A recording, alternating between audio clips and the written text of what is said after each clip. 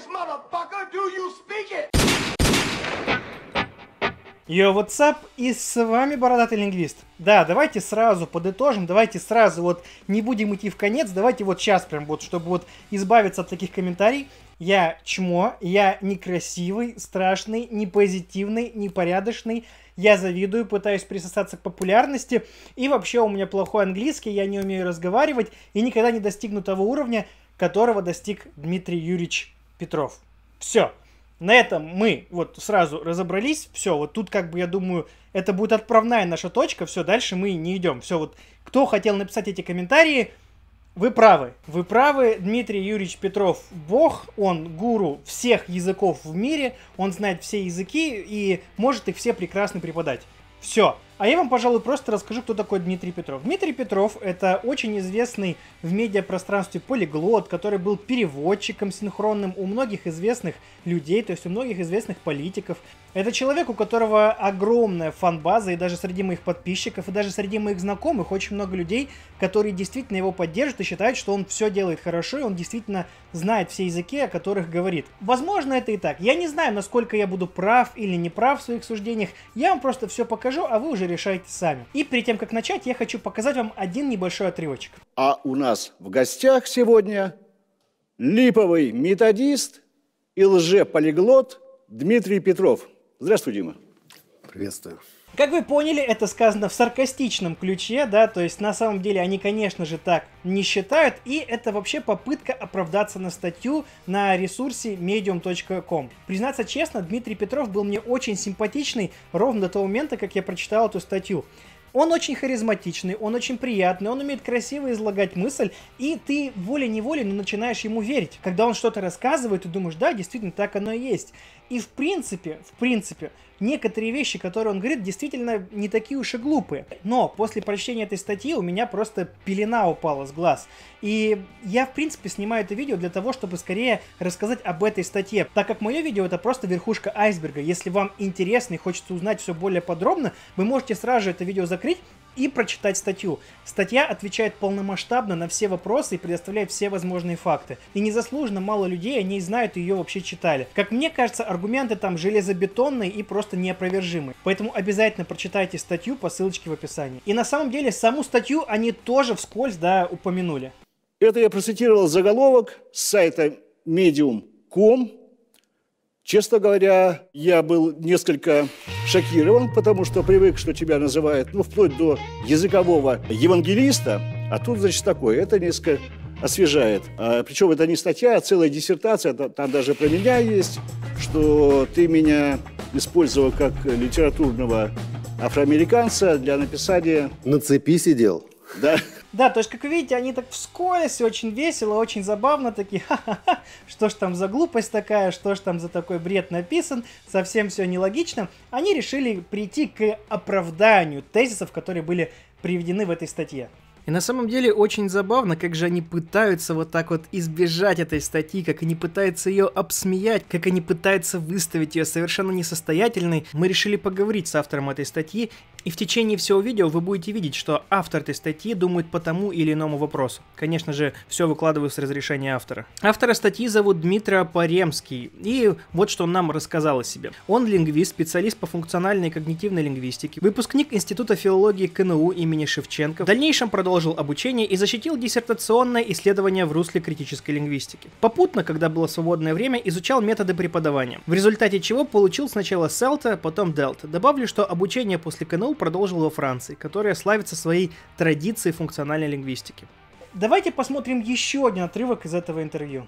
Ну вот скажи мне, пожалуйста, представим, что я тебя не знаю 13 с половиной лет.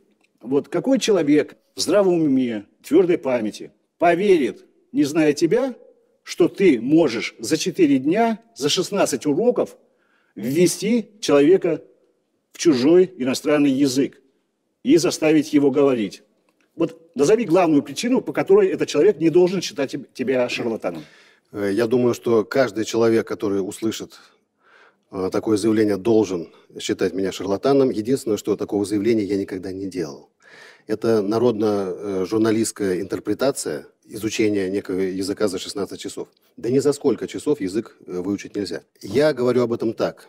16 часов – это время достаточное, чтобы ознакомиться с языком, представить э, базовую структуру этого языка и э, научить не бояться его. Я думаю, что надо с детского сада воспитывать навык идти искать первоисточник.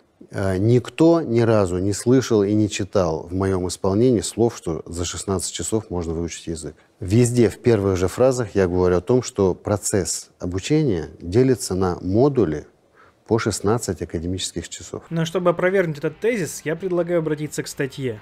Естественно, Петров категорически отрицает свою причастность к этой мысли, списывая ее на народно-журналистскую интерпретацию и призывая обращаться к первоисточникам. Однако даже при такой манипулятивной тактике Петрова и его собутыльника ждет неудача.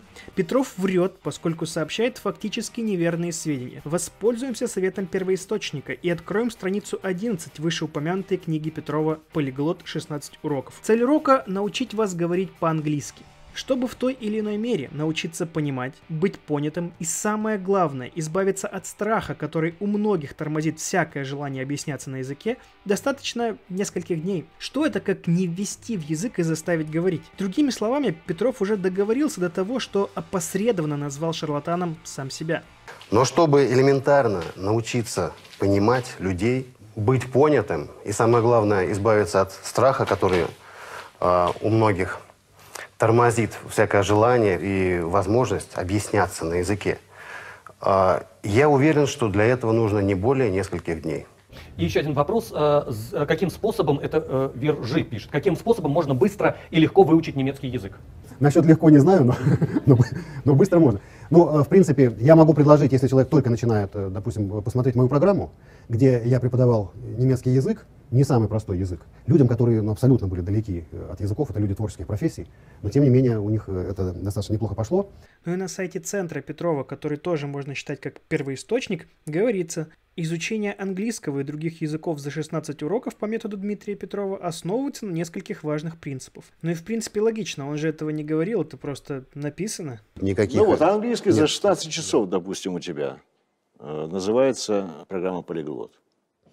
Да, но это, э, это не мои слова. А, и я не владелец этого продукта. Я приглашенный телеведущий этой программы.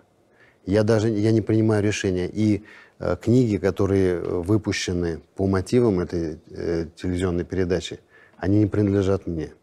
Я не имею к ним ни отношения. Ну, ты же мог хотя бы рекомендовать, как-то уточнить. Это же ну, все-таки это, это риски. делалось, это, это делалось 150 э, тысяч раз.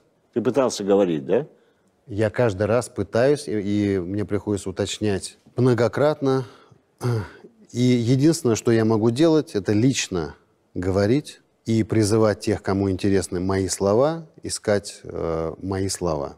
Написанные, сказанные, Петров продолжает врать. Его утверждение фактически неверно, ведь именно он выступал автором упомянутой книги, а также других книг в рамках серии. Его имя и фото были размещены на их обложках. Там же было указано, что Петров единоличный их разработчик.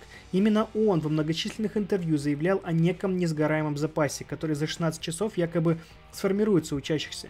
Более того, концепцию телеуроков также придумывал он. Открещивание от своего сомнительного наследия спустя столько времени выглядит жалко и некачественно. Э, для того, чтобы сформировался несгораемый запас, в частности языка, требуется мобилизовать себя на ограниченный временной срок. Одна из первых задач, которые вы должны себе поставить при изучении языка, это умение рассказать о себе на английском языке. Именно из диалогов о себе и формируется несгораемый запас, который упоминался в предыдущих уроках. Уделяя изучению слов всего несколько минут в день, через короткое время вы увеличите свой несгораемый словарный запас. Да. А за сколько времени можно выучить язык иностранный? Вот минимальный? Потому что все многие говорят, что ну это всю жизнь, как мы учим русский язык, всю жизнь, это же, наверное, не так. Ну, а если мы говорим о совершенстве, то никогда. Совершенство – это понятие философское.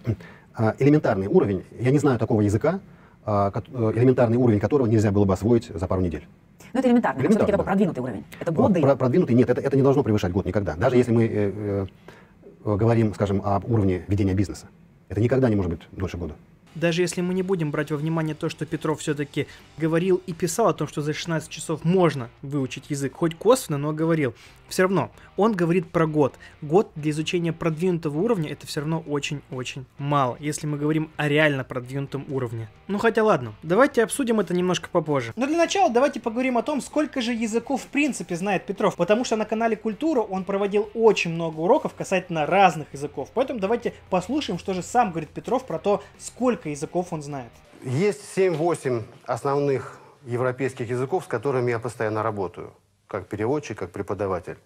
Ну и наберется 2-3 десятка других, которыми я ну, могу э, владеть в той ситуации, когда это необходимо. И что, вы все выучили эти языки за несколько занятий?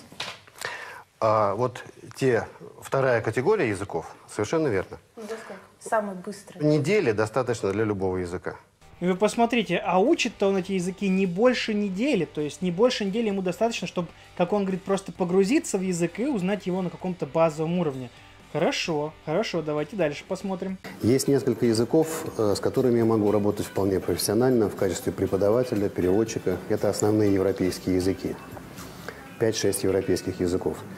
Есть 7-8 основных европейских языков, с которыми я постоянно работаю. Перед тем, как показать вам другие фрагменты, я все-таки хочу обратиться к статье, потому что этот момент там тоже был разобран. Из этого короткого фрагмента становится понятно, что Петров, якобы профессионально владея несколькими языками, затрудняется сказать 5 их или 6, хотя что 5, что 6 не такие уж и большие величины, чтобы в них запутаться особенно если речь идет о рабочих языках, что может указывать на то, что он который раз лжет, расплывчатым характером своих ответов традиционно оставляет себе поле для последующих маневров. В Википедии сказано, что вы э, читаете на 50 языках и э, имеете дело каждый день с восьмию. Э, из них это с английским, французским, итальянским, испанским, немецким, чешским, греческим и хинди. Да, тут можно сказать, что в Википедии написано неправильно, и это все вранье, и это вообще не он писал, но он этого не отрицает.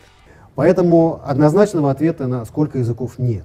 Но, э, скажем, если исходить из нижней планки, то есть языки, на которых я могу хотя бы читать и понимать, ну, это порядка 60. У меня есть опыт работы с английским, французским, испанским, итальянским, немецким, чешским, ну, в меньшей степени с греческим и польским. Да, с английским, французским, итальянским, испанским, немецким, чешским, греческим и хинди. С английским, французским, испанским, итальянским, немецким, чешским, ну, в меньшей степени с греческим и польским. Также еще есть статьи, в которых написана следующая информация. Разговаривая с человеком, который знает 37 иностранных языков, чувствуешь себя дремучим двоечником. Благодаря своей методике Дмитрий выучил больше 30 языков. Дмитрий Петров is a linguist who knows 30 of them. И да, действительно, и в статье это указано, и вообще, в принципе, в интернете нет каких-то доказательств, что Петров говорит хотя бы на половине из тех языков, о которых он говорит. Ну, на самом деле, я лично нашел только одну запись, опять же, она была предоставлена в статье. Yo creo que cada persona, cada ser humano es un políglota. Porque ya tenemos un idioma para los padres, para los niños, para los amigos, uh, para los colegas.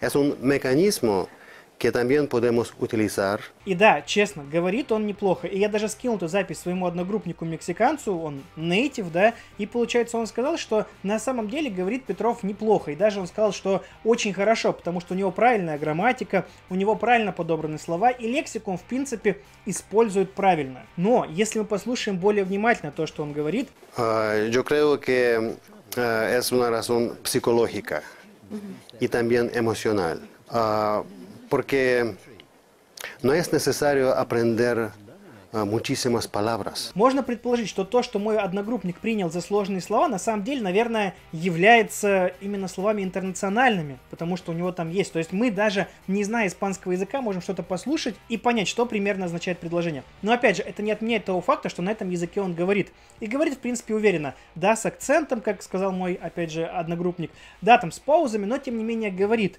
И здесь мы к нему претензий быть не может. Но всего лишь один вопрос. А это точно уровень синхронного переводчика? Он же говорит, что испанский это его рабочий язык. Э, вот я как синхронный переводчик. Ты переводил э, кому-то из крупных э, государственных деятелей, может быть, главам государства? Да, я переводил и Горбачеву, и Ельцину, и Путину, но это были эпизодические такие истории. То есть, э, знаешь, как э, журналисты иногда любят обобщать, там я видел пару упоминаний, что я был личным переводчиком, личным переводчиком я ни у кого не был, но и переговоры, и телемосты в синхронном режиме я переводил. А с Путиным при каких обстоятельствах? Последний раз это был, э, по-моему, президент Исландии. То есть это был разговор с глазу на глаз, я с ними общал, по- помогал им общаться. Именно так синхронные переводчики должны разговаривать на языке, потому что, как я, насколько знаю, сколько я видел синхронных переводчиков, они говорят практически идеально на языках. Особенно те, кто работают ну, рядом с президентом, рядом с политиками. Он не говорит, что он личный, да, переводчик президента, но тем не менее он говорит, что он переводил для него. А это, я вам скажу, очень сильно нужно постараться, чтобы туда попасть. На этот вопрос мы ответим чуть попозже. А я все-таки хочу опровергнуть его некоторые слова. Он утверждает, что за 16 уроков вы будете введены в язык и получите какую-то основную информацию. Далее вы, конечно, можете развиваться, развиваться, развиваться, но если вы хотите достичь продвинутого уровня, то это не должно превышать больше года. То есть получается, что если вы больше года занимаетесь и не достигли продвинутого уровня, то значит проблема в преподавателе, да? А, И вот на создание такой методики, а, универсальной, может быть, в каком-то смысле, а, более компактного, более интенсивного изучения языка, меня натолкнуло э, чувство гнева и глубокого неудовлетворения, а также обиды за миллионы соотечественников, которые э, учат, учат, и не, не всегда, далеко не всегда довольны своими результатами. И он, знаете, так очень мягко намекает на нашу современную систему образования. Даже не то, что на нашу систему образования, а в принципе на учителей, на репетиторов, на какие-то курсы, вообще в принципе на людей, которые обучают языку. Он так очень мягко, в своей такой приятной манере говорит, что ну, нужно, чтобы все было компактно. И ведь знаете, а мы ведь можем это проверить, потому что он сам не раз утверждал, что перед тем, как провести серию передач на канале Культура, он до этого китайский не знал. И китайский он учил, ну, как он говорит, 3 месяца, 4 месяца, несколько месяцев. Ну, хорошо, пускай даже 4 месяца. Первые языки ты назвал. Понятно, ты их раньше знал, ты им учился, преподавал. Но китайский. Добрый день. Сегодня мы еще поздороваемся по-русски. В последующие дни будем делать это на китайском языке. Это вообще не хамство изучать, преподавать язык, который ты сам вот месяц всего лишь изучал. Это было хамство, я признаю и раскаиваюсь в этом. Но не жалею. Э, По поводу китайского языка еще хотела уточнить. Сейчас действительно модно детей учить китайскому языку, и есть ряд причин для этого. Вы советуете, наравне, допустим, с английским, изучать еще и китайский? У меня есть такое наблюдение, потому что я, мне пришлось достаточно быстро ну, знакомиться с этим языком для того, чтобы сделать телевизионную программу. Мгм. Это был единственный из языков, а, которым я никогда не занимался до того. За сколько вы им овладели? Я занимался очень усиленно 4 месяца. Э, Язык, с которым мне довелось сталкиваться, был язык, который я специально учил для телевизионной программы. Это был китайский язык. Э, Я занимался им три года назад. И сколько времени у вас пошло? Э, Три месяца. Многие из ваших мыслей, эмоций я тоже абсолютно разделяю и разделял, когда решил поехать в Китай и немножко освоить этот язык. Это произошло очень недавно. Буквально несколько месяцев назад я впервые занялся этим языком. Но, по идее, с его блестящей методикой он должен был как-то ввестись туда на таком уровне, чтобы уже преподавать. Ну, давайте посмотрим. И опять же, чтобы как-то дискредитировать методики преподавания китайского языка, он сыпется вот такими вот фразами. Если кто-то все-таки решит им заниматься или э, своих детей направить на эту стезю, я бы советовал начинать с фонетики. Потому что я э, знаю, э, когда стал интересоваться этим вопросом, что многие, кто 2-3 года учат китайский язык, уже знают по тысяче иероглифов, но не умеют говорить. То есть все-таки с фонетики, да? Но на самом деле я вам скажу так, это давно не секрет. Во-первых, я вам скажу так, э, я начал учить китайский язык в университете, и там же мы учили его комплексно. То есть мы учили звуки, мы учили слова, мы же учили черты сразу же, мы же учили иероглифы. То есть все это было комплексно, да? Но опять же, это университет, там у нас было 3-4 пары в неделю даже на первом курсе. Ну, там разного китайского, но тем не менее, мы там по-разному учились писать и так далее. Но при этом, при всем, у нас была отдельная пара фонетики, на которой мы учились ставить звуки и так далее. То есть, ясное дело, что нужно начинать с фонетики. Это, в принципе, в любом языке нужно изначально понять, как говорить тот или иной звук, чтобы вас правильно поняли. То есть, это это да, действительно так и есть. Но, во-вторых, сам Петров, я бы не сказал, что очень сильно дружит с фонетикой. Давайте посмотрим примеры его китайских уроков. Мы произносим слово. Например, он. Это та. Ребят, вы можете проверять как угодно. Вы можете спрашивать у любого китайца, вы можете спросить у любого преподавателя, и они вам точно подтвердят мои слова. У Петрова полностью отсутствует придыхание. Он говорит неправильно. Этот звук должен звучать не как та, а как та, та, там придыхание. Дмитрий Юрьевич, давайте я вас научу кое-чему. Я вам покажу, как мы учили фонетику у нас в университете, да и вообще, как в принципе учат фонетику в разных школах и в основном наши преподаватели. Это можно делать с простым листочком, можно делать с шариком. С шариком веселее, так можно работать с детьми. Итак, что мы делаем? Мы берем вот так вот его в руки, я даже вот так вот повернусь для вас. Мы его вот так вот берем, и когда произносится китайский звук, да, тот, который, допустим, вы сейчас сказали, ц, ц, у нас, точнее китайский слог, у нас должен листочек колебаться, то есть должно быть та, та, та, та, та, та, та, та. То, что вы произносите, это та, та, та, та. Вы видите, нет ничего. А вот та, та, та, та, та, та, та, та. Он должен колебаться. Листочек должен шевелиться. Это как раз таки тот сильный поток воздуха, который выходит у вас изо рта. Это называется придыхание. У вас его нет. То есть он сейчас говорит совершенно другое слово. Он говорит не он, он говорит большой. Нет, даже не большой. Что он говорит? Вешать на, сооружать, поднимать вместе, соединять, соприкасаться, ездить на. Ну, то есть смысл совершенно другой. Улавливаете? Слово май, май, А чем он отличается от восходящего? май. Если бы я сказал Май. А, и май. остался наверху, а здесь я май. Да. Третий тон он опять же произносит не совсем правильно. В принципе, это может быть небольшая придирка, но все же, когда мы произносим третий тон, нам нужно уйти прям в голосовые связки. Нам прям нужно задействовать голосовые связки, прям их опустить максимально. Как этот тон преподают в университете? Берется вот такая вот типа таблица, и тут имеется в виду, что вам нужно опустить максимально ваш голос, а потом его поднять. Да, то есть должно получиться та, та, или как он говорит, май, май, май. Должен прям уйти в голосовые связки. Нужно очень сильно опустить голос. Опять же, это придирка, но это ошибка человека, который, в принципе, в фонетике еще не разобрался до конца. Потому что он говорит май, май, май, май, май, май. Две разные вещи, согласитесь, совершенно две разные вещи. Читается это 中国. 中. 国. Да. Дифтонг О он тоже произносит неправильно. Это слово звучит как 中国, 中国. У него же оно 中国, 中国. Опять же, совершенно неправильная фонетика. 再见. Здесь опять же неправильно. Звуки И и А, они произносятся как Э. 再见, 再见, 再见. И там должно быть два четвертых тона. У него же там четвертый и первый. Хотя на доске написано правильно. Но говорит он цай-тень, цай-тень. А должно быть цай-тень, цай-тень. Тоже неправильно. И тоновая система. Тоновая система достаточно сложное, э, сложное явление и далекое от привычных нам языков, но посильное, доступное. Поэтому я подошел вот с той же позиции, с какой подходил к другим языкам, которые, с которыми был лучше знаком. Хотя сам Дмитрий говорит, что тоновая система доступная, но как-то, видимо, у него не получилось. Не получилось. Ну хорошо, давайте дальше. Теперь. Вэй Ай Ган Бэй. За любовь. Вэй Ай Ган Бэй. Или как получается? Ну, в- в принципе, да. В принципе, да. Я слышал, что у китайцев нет такого тоста, но... Тут тоже не совсем так. Во-первых, есть такая песня «Вэй Ай Гамбэй», то есть, по идее, такой тост есть.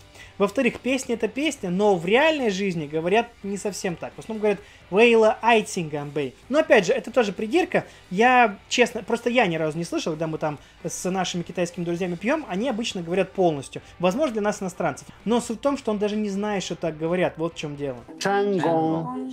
Ну, гон – это вот что-то связано с делом, помните? Да. Потому что гон Зонго. дзо Зонг. – это работа.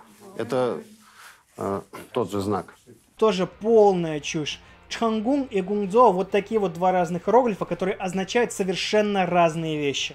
Это просто бред. Во-вторых, у звука ч тоже есть придыхание. Чанг. Абсолютно то же самое. Где придыхание? И вообще, почему мне кажется, что он кривляется? Посмотрите вот на эту фразу. Нименхао. Не, ну можно пойти дальше, в принципе, и вообще вот так вот начать говорить. Тадя, 我叫吉列尔，我是你们的老师。我今天教你们汉语，我教你们怎么用筷子。我特别喜欢吃米饭。烧烧烧，да? 我少。我少烧啊 to 饭馆。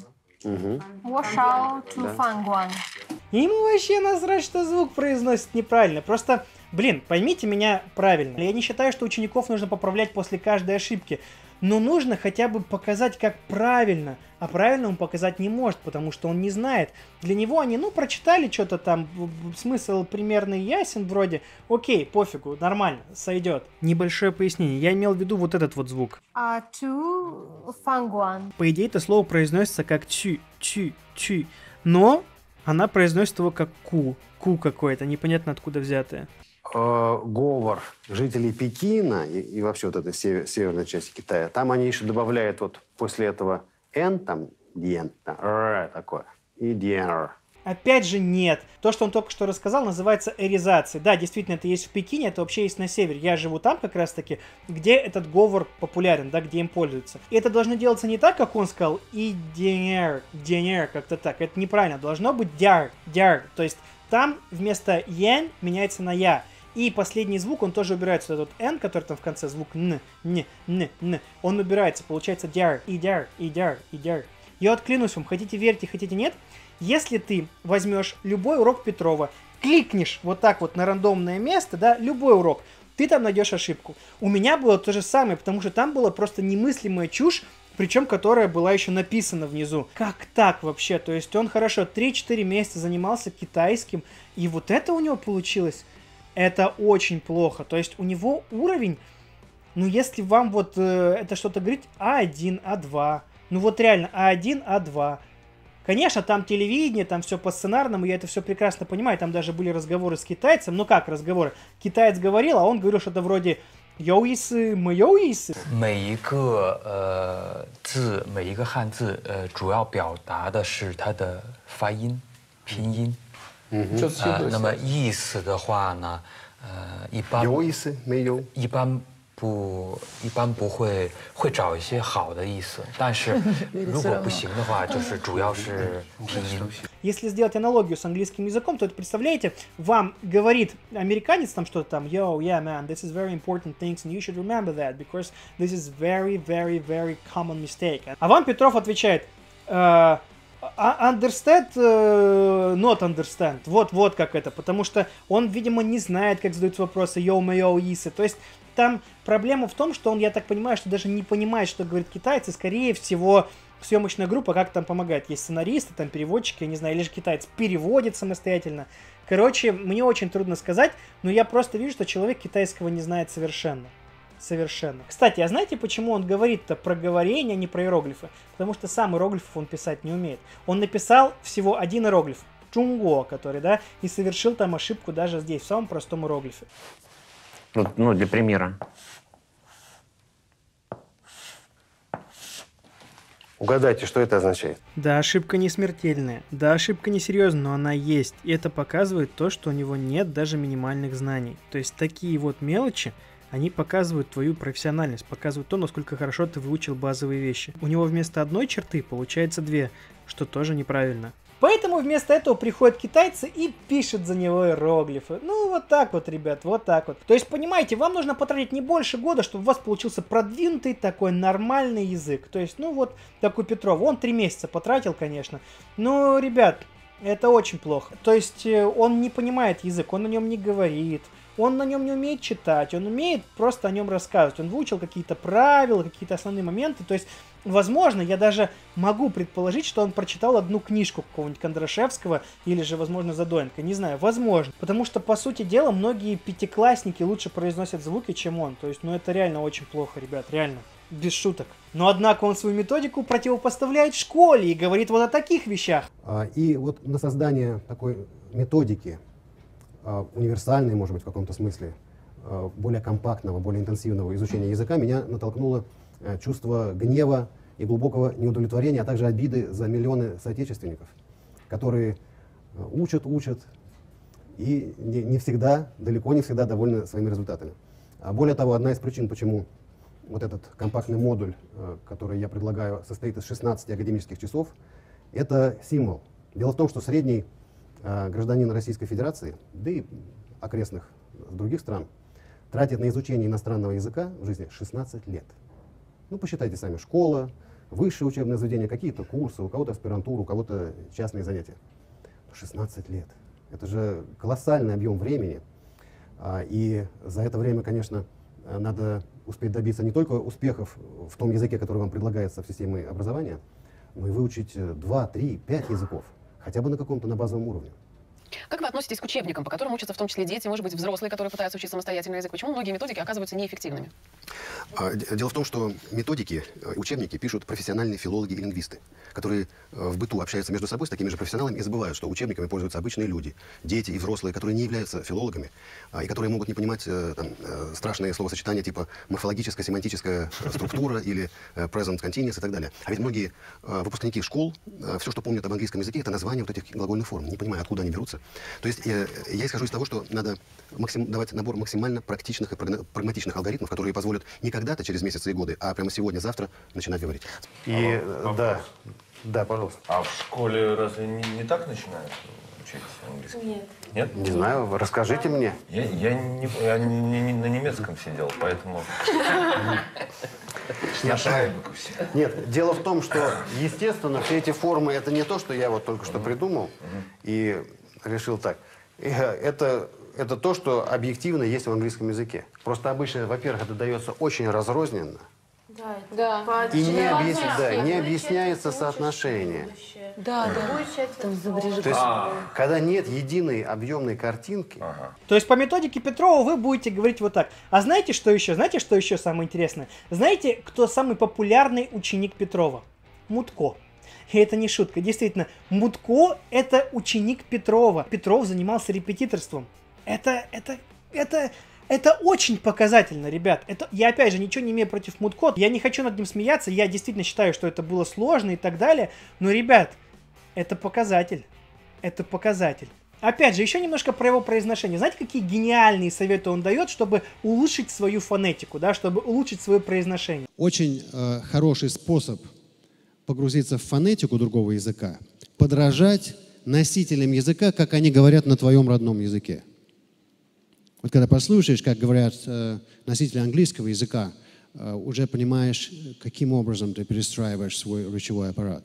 Если мы захотим говорить по-французски, у нас э, возникает такой хоботок, верхняя губа и нос немножко удлиняется, и мы начинаем делать сюда ударение на последний слог, и вот это вот все такое, о, вот это все играет. Если мы говорим э, по-немецки, то напрягается гортань. Напрягается гортань. Das ist fantastisch. Не знаю, я хочу выучить русский язык. Дальше. Итальянский язык. Это практически русское произношение, но гораздо более четко, гораздо более детально. Все. Дикция, дикция. Испанский язык это можно говорить, не открывая рот. Просто вы говорите по-русски, как вы обычно говорите, но не открывая рот. То есть э, слушаем, как, как испанцы говорят по-русски. Я, например, опре- определяю это по слову «спасибо». Вот «спасибо» или «спасибо» Слушайте, ну я такой херни даже в КВН не видел. Ну это чушь полнейшая. Ну вот серьезно, именно поэтому у него получается вот такой вот «нименхао», «нименхао». А это чем-то мне напоминает вот этого парня. Поговорим немного о произношении. Начните с простого. Fra. Blur. Splash. Purplish. Trouble Зная все эти приемы, вы с легкостью сможете пребывать в Штатах. То есть он не говорит на языке, он просто думает, что говорит на языке. Ребят, ну это супер тупые советы, реально. То есть таких советов, ну я не знаю, они, они, они ненормальные, такого быть не должно. Причем вы, наверное, думаете, да это просто для выступления. Он сказал, нет, вот, пожалуйста, на его личном сайте это как бы мануал. Конечно, там есть еще разные советы, но это, это просто апофеоз, ребят. Обратите внимание, как говорят по-русски англичане «спасибо», французы «спасибо», испанцы «спасибо», итальянцы «спасибо», немцы «спасибо» и все остальные.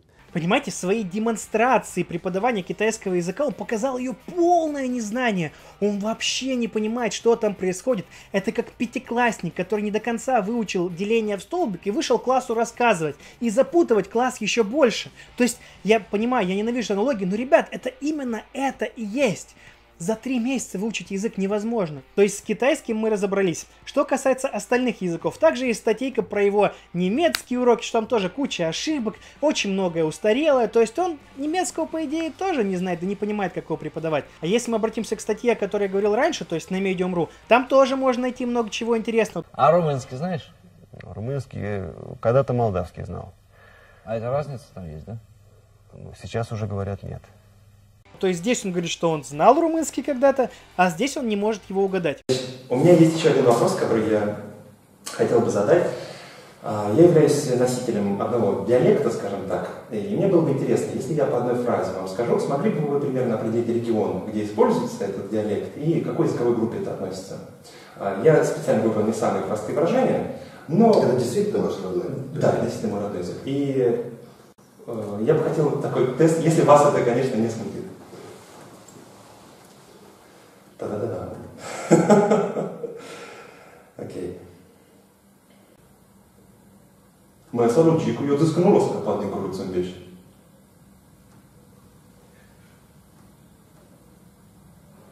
Еще раз. Перейдем к следующей фразе. Нет. Моя сорочку ее заскнула с копатным куруцем вещь. Это кавказский язык. Ошибка. Минус балл. Ну, это лак Буркану Магатяск. А, это э, молдавский. Слушайте, это супер. Меня, бешено немножко. Я вам хочу показать одного человека. Его зовут Убер Маргинал. Можете относиться к нему по-разному, но то, что этот человек хороший лингвист, у меня не вызывает никакого сомнения.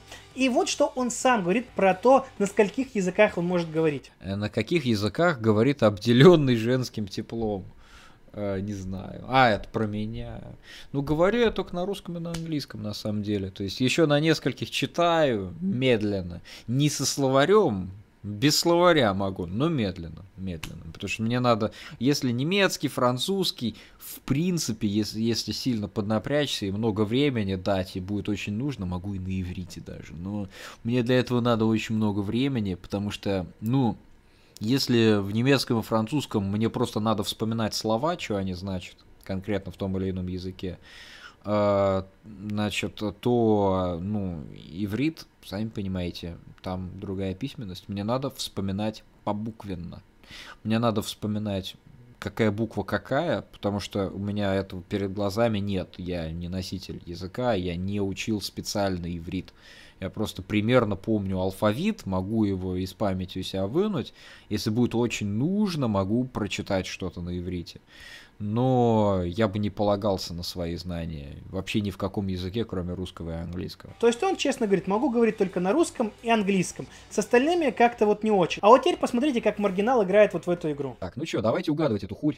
Что тут у нас? Nærbilde av triste øyne, og stearinlys forteller at mannen har et alvorlig problem. Dette Норвежский. Melbourne में भी एक तंजीम Melbourne Islamic cultural society के रजाकारों ने मेरो हाइट्स के इलाके में सफ़ाई की और कचरा इकट्ठा किया। हिंदुस्तान की।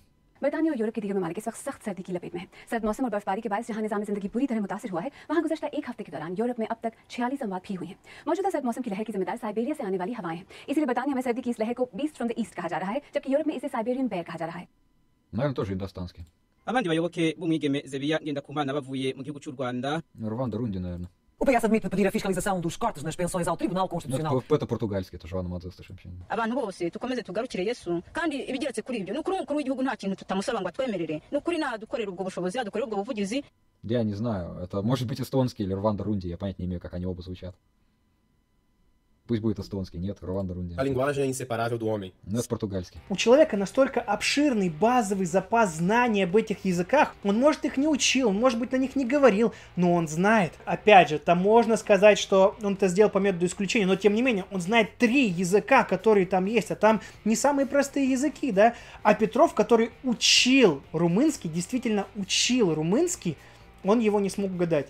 Ну, то есть, лично, как по мне, это показывает, что Убер Маргинал знает хорошо два языка, но, тем не менее, он учил и другие и знает их структуры, и понимает, как они звучат, понимает, как они работают. Петров же, говоря, что он знает 60 языков, то умеет на них писать, читать, он даже не может определить румынский. То есть, ну это, это очень странно. То есть он говорит наугад. Да, возможно, есть какие-то малейшие знания, и то непонятно. То есть, то есть, опять же, неизвестно, постанова это, не постанова, но... То есть я вам просто хочу показать контраст. Еще я обожаю вбросы Петрова, о которых он говорит постоянно. Например, вот это. Как избавиться от языкового барьера? Прежде всего надо разобраться, что это такое. Ведь барьер это то, что стоит на пути, и то, что необходимо устранить, чтобы идти дальше. Когда говорят о языковом барьере, обычно подразумевают что-то загадочное, зловещее, непонятное. Попробуем разобраться. Дело в том, что одни люди называют языковым барьером свою неспособность высказывать мысли на иностранном языке, даже если этим языком владеют достаточно неплохо. А другие, наоборот, жалуются на то, что могут без проблем высказывать свои мысли, но ничего не понимают, когда говорят им. Что же объединяет первый и второй типы языкового барьера? Пожалуй, что причина здесь исключительно психологического характера. И, конечно, есть способы устранения этого барьера, которые объединяют всех людей, которые с ним сталкиваются. Прежде всего, это необходимость добиться определенной степени релаксации, то есть избежать напряжения, которое мешает и говорить, и воспринимать информацию на слух. Э, важно ведь не просто выучить какое-то количество слов и понять грамматику, важно снять вот этот тормоз, внутренний блок.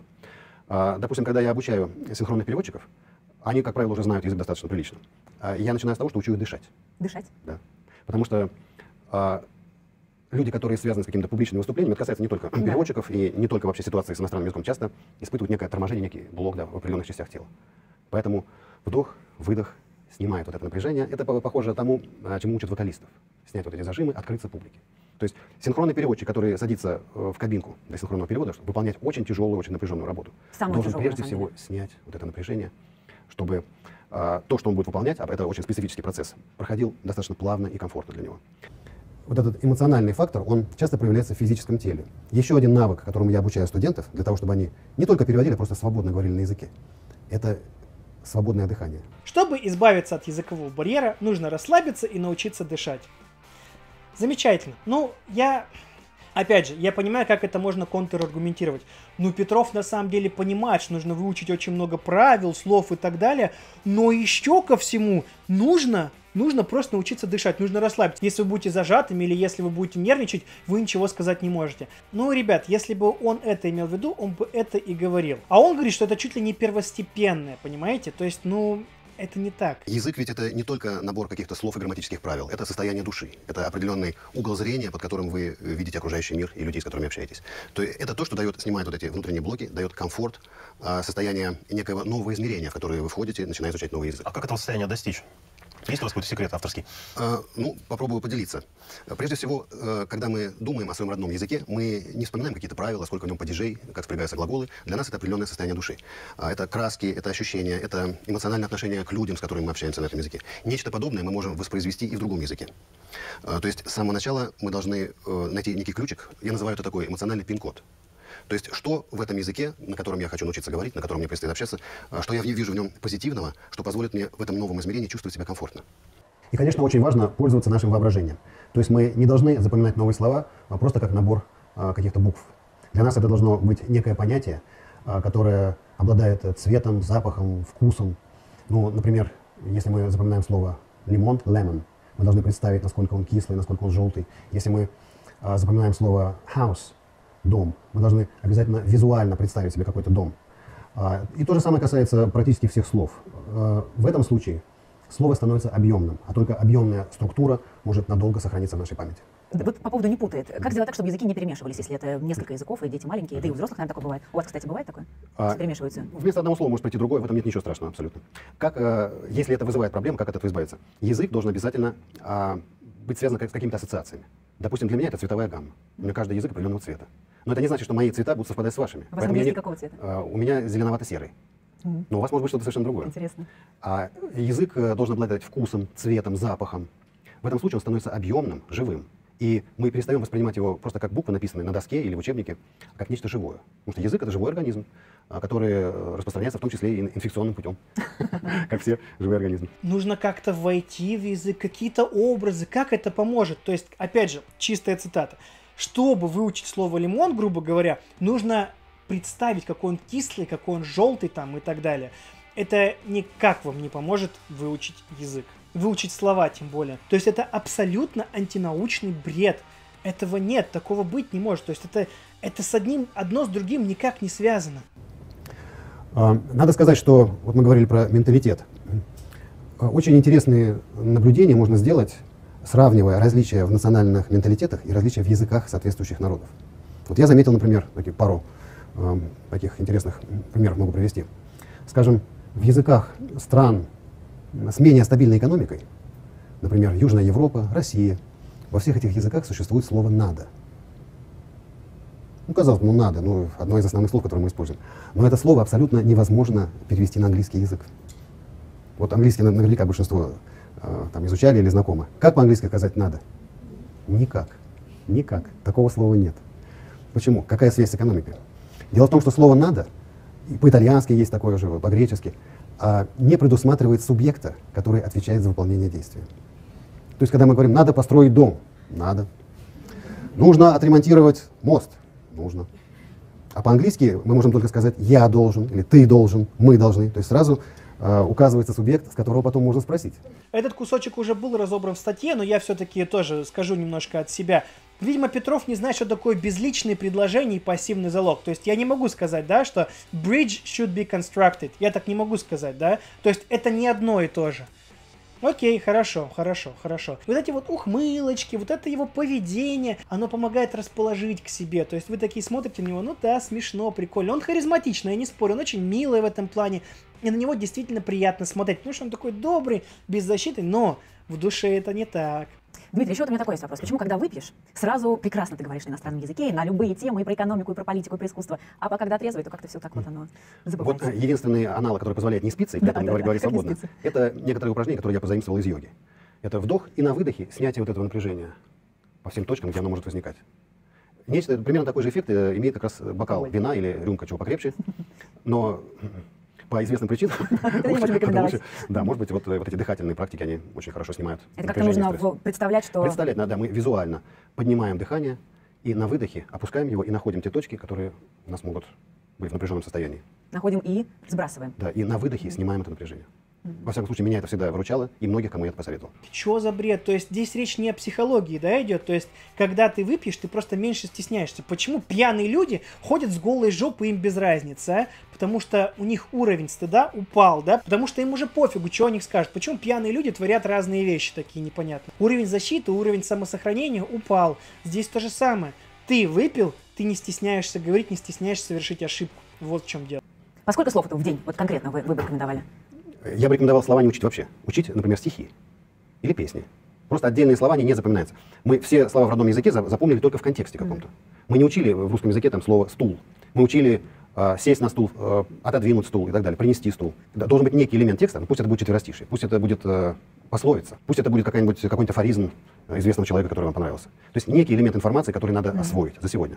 Ой, ну очень спорно, очень спорно. Мысль опять же хорошая, но это очень спорно. Учить стихи или же учить строчки из песен, чтобы выучить одно слово? Ну, фиг знает.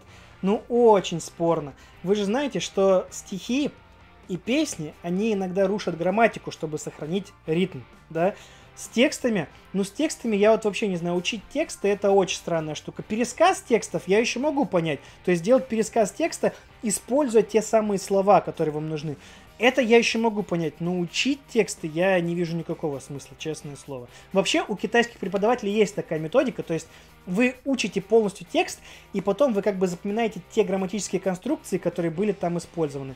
Ну, возможно, конечно, ну, как по мне, это очень такое себе, очень такое себе. Математика — это э, то, что э, во всем сущем нашей Вселенной существует какая-то структура, какая-то система. А любая система э, вычисляется, определяется, формулируется. В языке есть вполне математические величины. Во-первых, э, объем словаря. Да? Многие говорят, вот я что-то слова плохо запоминаю. А много ли надо знать слов, э, хотя бы на базовом уровне, чтобы говорить на языке? На это уже лет сто назад дан очень четкий научный ответ. По статистике, признаваемой всеми лингвистами, а, 90% э, слов, которые мы э, используем в повседневной речи, разумеется, повседневной, а, это порядка 350 слов. 350 слов. Охватывает 90% нашей речи. Кстати, интересно, что 90% э, слов, которые мы используем в разговорной речи, независимо от языка, на котором мы говорим. Это примерно 350-400 слов. Не требуется феноменальной памяти, чтобы это освоить. Статистика, которая ну, достаточно стабильна в течение последних лет 100, говорит о том, что 90% э, нашей разговорной речи, повседневной речи, э, прих- охватывает порядка 350-400 слов. 350-400 слов – это 90% нашей устной речи. А- Немного. Немного, да. Для того, чтобы опровергнуть этот тезис, давайте вновь обратимся к статье. Петров регулярно озвучивает публично. Есть базовый словарь, состоящий из 300-350 слов, которые охватывают 90% нашей речи. Именно эти слова, по всей видимости, и подают на занятиях школы, рассказывая о частотности и 90%. Конечно, это ложь. Например, по данным одного из создателей аудиолингвального метода, американского методиста Роберта Ладо, который он изложил в книге преподавания языка, словарь минимум составляет для говорения 2000 слов, для чтения 7000 слов, для аудирования письма 3-4 тысячи слов. А сейчас блок будет связан полностью с английским. Но перед этим я хочу сделать такой промежуточный итог. Что мы выяснили? Дмитрий едва ли говорит на остальных языках, о которых заявляет. Да, может быть на испанском, но это ни в коем случае не его рабочий язык и не уровень синхронного переводчика. Потому что пауз у него очень много. Очень много. То есть остальные высказывания, которые он говорит в отрыве от обучения языку, то есть про матрицы, про ключики, про язык это вкус и так далее, и цвет, то есть это тоже полный бред, не имеющий никакой связи с обучением. То есть это просто вода, которую он льет на каждой лекции, чтобы заработать, скажем так, очки. И вроде пофигу, да, да какая разница, на немецкий, на китайский, ведь мы сюда пришли, потому что нам нравится изучать английский. Нам интересно, что ты, Кирилл, скажешь про его английский. Напомню, этот человек утверждает, что он синхронный переводчик. Работал с Путиным. Не личный переводчик Путина, но работал с Путиным. Да, я переводил и Горбачеву, и Ельцину, и Путину, но это были эпизодические такие истории. То есть, э, знаешь, как э, журналисты иногда любят обобщать, там я видел пару упоминаний, что я был личным переводчиком, личным переводчиком я ни у кого не был, но и переговоры, и телемосты в синхронном режиме я переводил. Давайте я для примера покажу то, как разговаривает синхронный переводчик в Министерстве иностранных дел. We had an opportunity to meet in, on the 16th of February this year in Bonn, where I had the chance to uh, give you an overview of Moscow approaches to Russian-American relations and international agenda. I will be frank that we had a lot of questions regarding very ambiguous as well as uh, contradictory ideas on the whole plethora of bilateral and inter- international agenda coming from Washington. То есть это просто пример, но один из тех, которые я смог найти, это вот. То есть она говорит очень хорошо, у нее прекрасное произношение, прекрасная грамматика, ну и все в таком роде. То есть действительно вот это уровень синхронного переводчика, который работает в Министерстве иностранных дел, да? Хорошо, окей. Давайте посмотрим на то, как разговаривает Дмитрий. If you want to use movies for training purpose, Yeah. you have to see the movie in Russian Yeah. with the voiceover in Russian. It must be a movie that you will want to see again. But without voice uh, over voice. Yes. Yeah. And after seeing it in Russian, you can see it in English without subtitles, without any text, without the voiceover. Because you know the plot, сюжет, you know the story, you know who the characters are, кто эти Yeah, персонажи. it will be not so. Well, interesting, interesting choice. What do you think about Goblin? He has uh, two versions of translations: funny translation And normal. and normal and correct translation. Correct. So if you want to learn English, Yeah. you have to see the, the proper, the correct translation, not the funny translation. Well, uh, it is better than Russian, but uh, the best of all, uh, Best the of best all, way is without to any have text. no text. No Just to text. see, to see the eyes, to see the Maybe- faces. maybe- You, you, you can see different versions of English because they are all used. Они все используются. They're all Ah. used. And in movies, na- in uh, contemporary movies, they use all kind of dialects Then and more- accents, including Russian accent and uh, and any accent in the world. Then more, that better. The more the better. The more variety, чем больше разнообразия, the more diversity. Ребят, хоть убейте, это не уровень синхронного переводчика. Вообще нет, ни капли. У него довольно сильный русский акцент. Да, давайте сразу, сразу скажем, я говноед, чмо, который говорит тоже очень плохо, у меня ужасный акцент, у меня присутствуют точно такие же ошибки, как у Дмитрия. Это правда, я сейчас без иронии говорю. Действительно такое есть. Я действительно, у меня действительно, у меня действительно не самое лучшее произношение. Но мы сейчас говорим не про меня. Я не заявляю, что я вас научу за 16 часов. Я не заявляю, что я синхронный переводчик. Я не заявляю те вещи, которые могут привести ко мне клиентов. Я этого не делаю. Я просто делал какие-то видосы грамматические на русском языке, да, то есть делал какие-то там веселенькие видео про сленг и так далее. Вы приходите сюда не за тем, чтобы потом записаться на мой курс. Вы приходите сюда просто порофлить и, может быть, где-то в чем-то разобраться, если вдруг, ну, я могу помочь им как-то разобраться. А вот у Дмитрия, который, по его словам, работает синхронным переводчиком, очень много ошибок, которые встречаются именно у новичков. Чтобы сказать по-английски «я люблю», говорим «I love». Здесь он очень сильно делает глухой последний звук. Получается не I love, как я люблю, I, li- I love, я смеюсь. И вроде можно было бы сказать, да это он просто так один раз оговорился. Ну, типа, ты тоже говоришь, Кирилл, когда, допустим, какие-то слова объясняешь, говоришь, допустим, не, френ, не friendly, а фре, friendly. Такое же бывает, оговорился просто. You love означает «ты любишь» или «вы любите». Will not. Will not love. I will not love, you will not love. Что мы будем иметь? Я живу. I live, you live, he lives, she lives. Ребят, это происходит постоянно. И не только на этом слове. Ну, например, приходить, come. Я прихожу, I come. Я приду, I will come. Ты придешь, will you come? Здесь, опять же, никакого придыхания. Come, come, come. В английском языке есть небольшое придыхание, не такое жесткое, как в китайском, но оно тоже есть. Почитайте артикуляцию звуков, у них есть придыхание. А вот Похоже. типа того, у них еще тоже есть какой-то the same. Sort, sort of. Road. прошедшем времени утверждение. То есть я Road, писал да? или я написал. Road, так и звучит. Road. Да. Искусство у нас art. Dollars, rubles, их можно посчитать, они имеют количество. Здесь у него опять же слышится звук R, да, то есть русский не R, а R. Опять же можно сказать, что он просто оговорился и так далее, но мы не можем как-то это подтвердить или опровергнуть. Я смотрю вот на уроки, потому что нет монолога, где бы он что-то говорил. Понимаете, что-нибудь сложное, осмысленное и так далее. Я говорю, да, на таких простых примерах, но даже здесь я вижу определенные ошибки. То здесь используется слово as. Стала такой же хитрой. А She is as, когда такой же, как что-то, говорят as as. Вот с этим вот as то же самое. Ребят, вы же знаете, да, что as это жопа, а as это как. У него же слышится s, s, s. И он не говорит ученикам, знаете, могут произойти всякие проблемы и так далее. Он об этом ничего не говорит. На связи. In touch, как говорят по-английски. Ну, очень, конечно, сильное заявление, что так говорят по-английски. Ну да, опять же, придираюсь, но тем не менее, in touch, чисто по-русски. Don't see.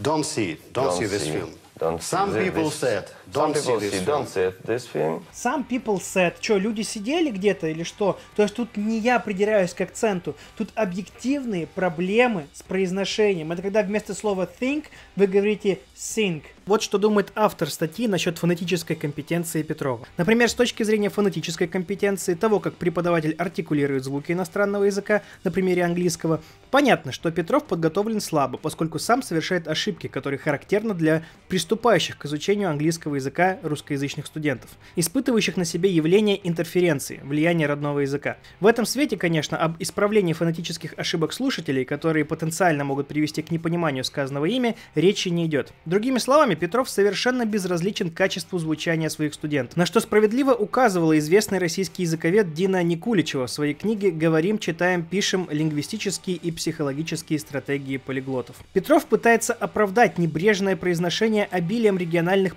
произносительных норм английского языка в Англии, США, Канаде, Австралии, Сингапуре и так далее. Однако при этом, как отмечает упомянутая исследовательница, добавляет к этому многообразию нарочито русское произношение и интонацию, что в будущем будет затруднять студентам понимание беглой речи на иностранном языке. Выражаясь в духе определенной части интернет-пользователей, можно сформулировать это следующим образом. Свой баг Петров выдает за фичу.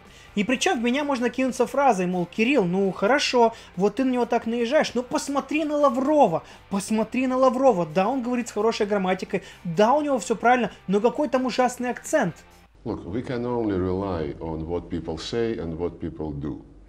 Uh, and uh, it's obvious that during the Obama administration, uh, the irritation, for whatever reason, uh, started building up in Washington against us many years ago, uh, long before uh, Ukrainian crisis, long before anything else which is now cited as the problem in Russian-American relations. The, the Operation Peace Spring was not, was not endorsed by, by Russia, it was endorsed by the United States, if, if, you, if you're accurate with, with the facts. They uh, tried to negotiate with Turkey, and then they said, okay, we cannot reach the deal, so Kurds, you're on your own. We are leaving. Then, after they, they left the Kurds and left Syria, they said, okay, we don't have any more, any more uh, obligations in front of the Kurds, but we are coming back for oil, not for the Kurds. Uh, it's, it's an interesting zigzagging, you know, in foreign policy and back to Churchill about uh, the United States always doing it right after they tried everything else. Russia had its own Pussy Riot moment. What do you think of Donald Trump's Pussy Riot moment? Well, um, I don't know whether this would. I, English is not my mother tongue. I don't know whether I would be. s- s- I, I would sound. Uh, I mean, um, decent. Um, there are so many pussies around your presidential campaign on both sides that I prefer not to comment about this. Oh my goodness. I wasn't expecting that. Я вам скажу так, да, действительно, у Лаврова есть акцент, да, действительно, у него очень хорошая грамматика, да, действительно, он может выражать свои мысли и при этом звучать, может быть, как-то не очень аутентично, да, то есть он звучит очень по-русски. Даже у него есть там проблемы тоже, он говорит interesting и так далее, то есть у него Г на конце слышится. Я могу это признать, да, но, ребят, Лавров не синхронный переводчик и никогда им не был. Это абсолютно две разные вещи. Лавров – это министр иностранных дел. Главная задача министра иностранных дел – это хорошо знать язык и решать вопросы, связанные с политикой, да, то есть вопросы, которые затрагивают международные отношения. У него нет задачи звучать без акцента, у него нет задачи проговаривать правильно все звуки. У него главная задача донести свою мысль, донести правильно, используя правильное слово, чтобы оно точно ударило в цель у него нет задачи звучать как американец. То есть вот в чем разница. Лавров министр, он не синхронный переводчик. Причем все его синхронисты говорят идеально. Вот в чем дело, ребят. Это две разные вещи. И здесь это даже невозможно сравнивать. И опять же, как я повторюсь, акценты произношения это, конечно, плохо, это ужасно, но там есть и другие грубые ошибки. А как спросить, What с чего ты take? взял? Что, а? С чего ты взял? Why did you take? Да, с чего? э, с- это не означает э, слово «что», это означает «почему ты так думаешь». А why did you, Да. why did you take? Когда мы, э, у нас возникла некая фраза, мы хотим ее выразить, нам надо не думать не по отдельным словам, знаю я это слово или нет, а какую я мысль хочу. Если я спрашиваю, с чего ты взял это, на самом деле я спрашиваю, почему ты так думаешь. И как это спросить? Это же без Um, Why, why, did you think? Да, why do you, why do Why you do you think? think Ah, why- so? why- why do you Да. think? Why do you think это почему ты думаешь, а не почему ты думаешь так. Why do you think so должно быть. Ошибка, ребят, ошибка. И он ее никак не исправил, и даже не исправили на монтаже, потому что они так делают иногда. Ну, я не знаю, ребят, давайте дальше посмотрим. А как сказать, как бы это сказать? How? Это уже как, не как бы, это вопрос. How? How, do how can I say it? How can I say? How can I То есть it? это нельзя как паразитом сказать. How can I say it? Никто не говорит how can I say it, означает, как я вообще мог такое сказать, что за ужас. Чтобы нам сказать, как это сказать, да, мы обычно говорим what do you call it, то есть как ты это называешь, так говорится. Или же можно сказать how do I say that, так тоже можно. Это, конечно, более дословный перевод, но я очень часто слышу именно what do you call it, what do you call it, what do you call it, um, the person who likes to eat sweets, I don't know, something like that. То есть, what do you call it, what do you call it. То есть, вы поняли, да, можно, конечно, сказать how do I say that, но ни в коем случае не how can I say that, это неправильно. Опять же, можно до меня докопаться и сказать, ну и чё, все же поняли, и так же все понятно. Да ясное дело, что все поняли, но это ошибка не синхрониста ни в коем случае. Это ошибка, ну, такого среднячка, не синхрониста. Романы, Олег, это novels. Novels. Есть еще пьесы, да, тоже пишешь? Да. Пьесы это plays, от слова играть. Plays. А новеллы это и есть романы? Нет. Ну, в русском понимании это не синоним. Ну, э, как, это просто разные виды. Нет, А что, что- романа что нету вообще на английском. Новел это роман. Роман. Новел это просто роман. Ну вот, я и говорю. Да, Роман. play это пьеса. Пьеса. В английском языке как таковом роман это стандартный стабильный перевод, это novel. Здесь, опять же, он не стал говорить, что такое новелла. Я не знаю, знал он, что такое новелла или не знал. То есть, если посмотреть в переводчике, есть прям новелла, то есть есть прям вот транслитерированное слово. Можно просто short story. Ну, вообще, как правило, новелла, то есть там прям есть список. То есть, как между собой разделяются произведения их названия. Но, опять же, он этого не рассказал. «Э» может сопровождаться буквой «Н». Это что означает?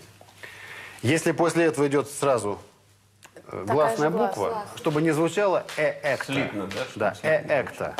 Просто для, исключительно для благозвучия. Опять-таки, вот этот звук «н», он отражает, откуда произошло это слово. От слова «one» – «один». «An actor», «an actress». Про артикль тоже не до конца сказал. Дело не в букве, а в звуке. То есть, если мы хотим сказать честь, то должно быть an honor, а не a honor, хотя начинается с буквы H. Это тоже все очень важно, но он об этом не говорит. А мувис это что, сериалы? Нет, муви – это фильм. Тоже Это фильм. просто, да. Слово муви происходит от слова move. Move значит двигаться. Двигаться. А э, это, это тот же корень, что слово кино. Кино по-гречески значит движение. Мгм. Кинема – движение. М. Это прямой перевод на английский. Move – это движение. Здесь прям тотальная ошибка. Cinema — это именно место, где вы смотрите кино. Именно место, то есть кинотеатр. Это кино, ну, в обычном его понимании. Вы не можете сказать I like to watch cinema. Так нельзя сказать. Work. I think he's. They. I, I, I think they do snakes with the good. В хорошем In good sense. In good sense. Можно сказать they are They not snakes in the good or positive sense. In a good sense тоже так никто не говорит. Все говорят in a good way. In a good sense это здравый смысл. In good sense это ни в коем случае не в хорошем смысле. Это здравый смысл. То есть это именно здраво мыслить. То есть это вообще две разные вещи. I work from TV. TV. TV. I work, да. For TV. М, А как вы Замечательно. сказали for TV?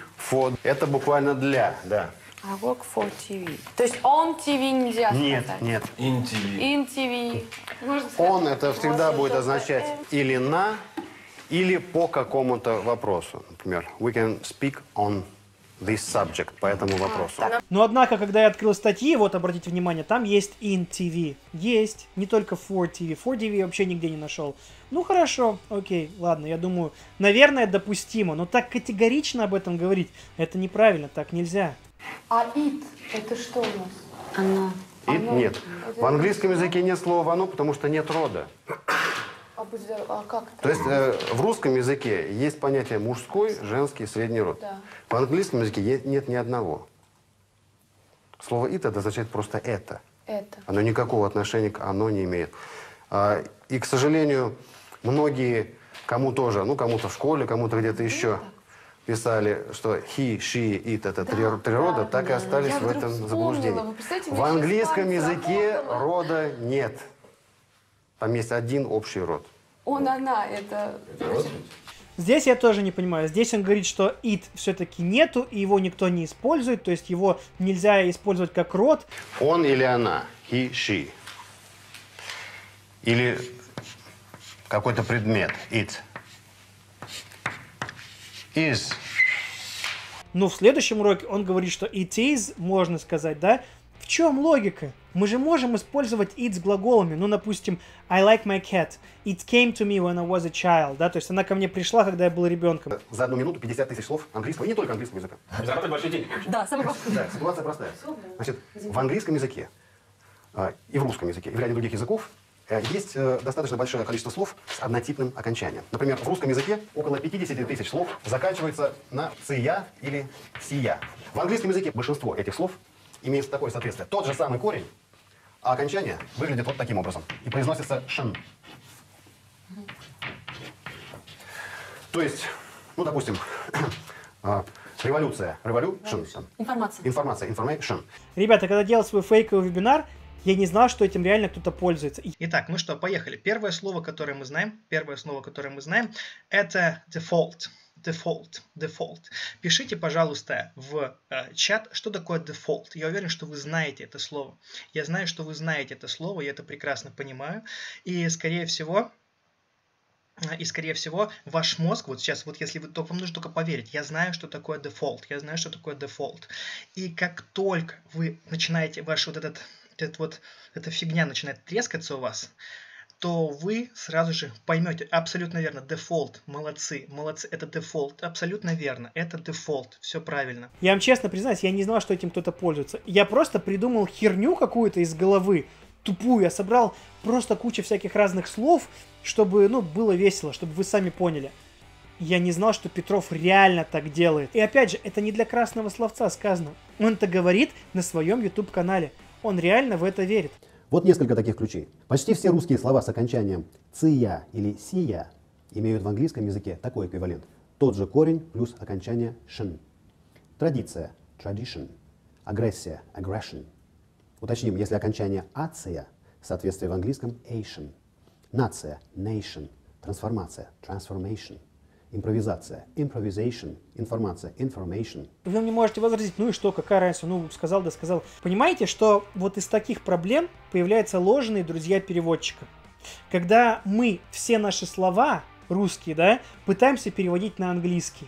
И получается какая-то чушь непонятная. Там этих ложных друзей-переводчиков просто до жопы. Опять же, когда он будет говорить эти слова, не нужно, чтобы вы их воспринимали буквально. Мол, innovation — это инновация. То есть это может быть просто нововведение и так далее. То есть, то есть Петров как синхронный переводчик должен был это знать, потому что это, этому учат везде. Эти вещи, они нелогичны, они наоборот мешают обучению. Вот в чем дело.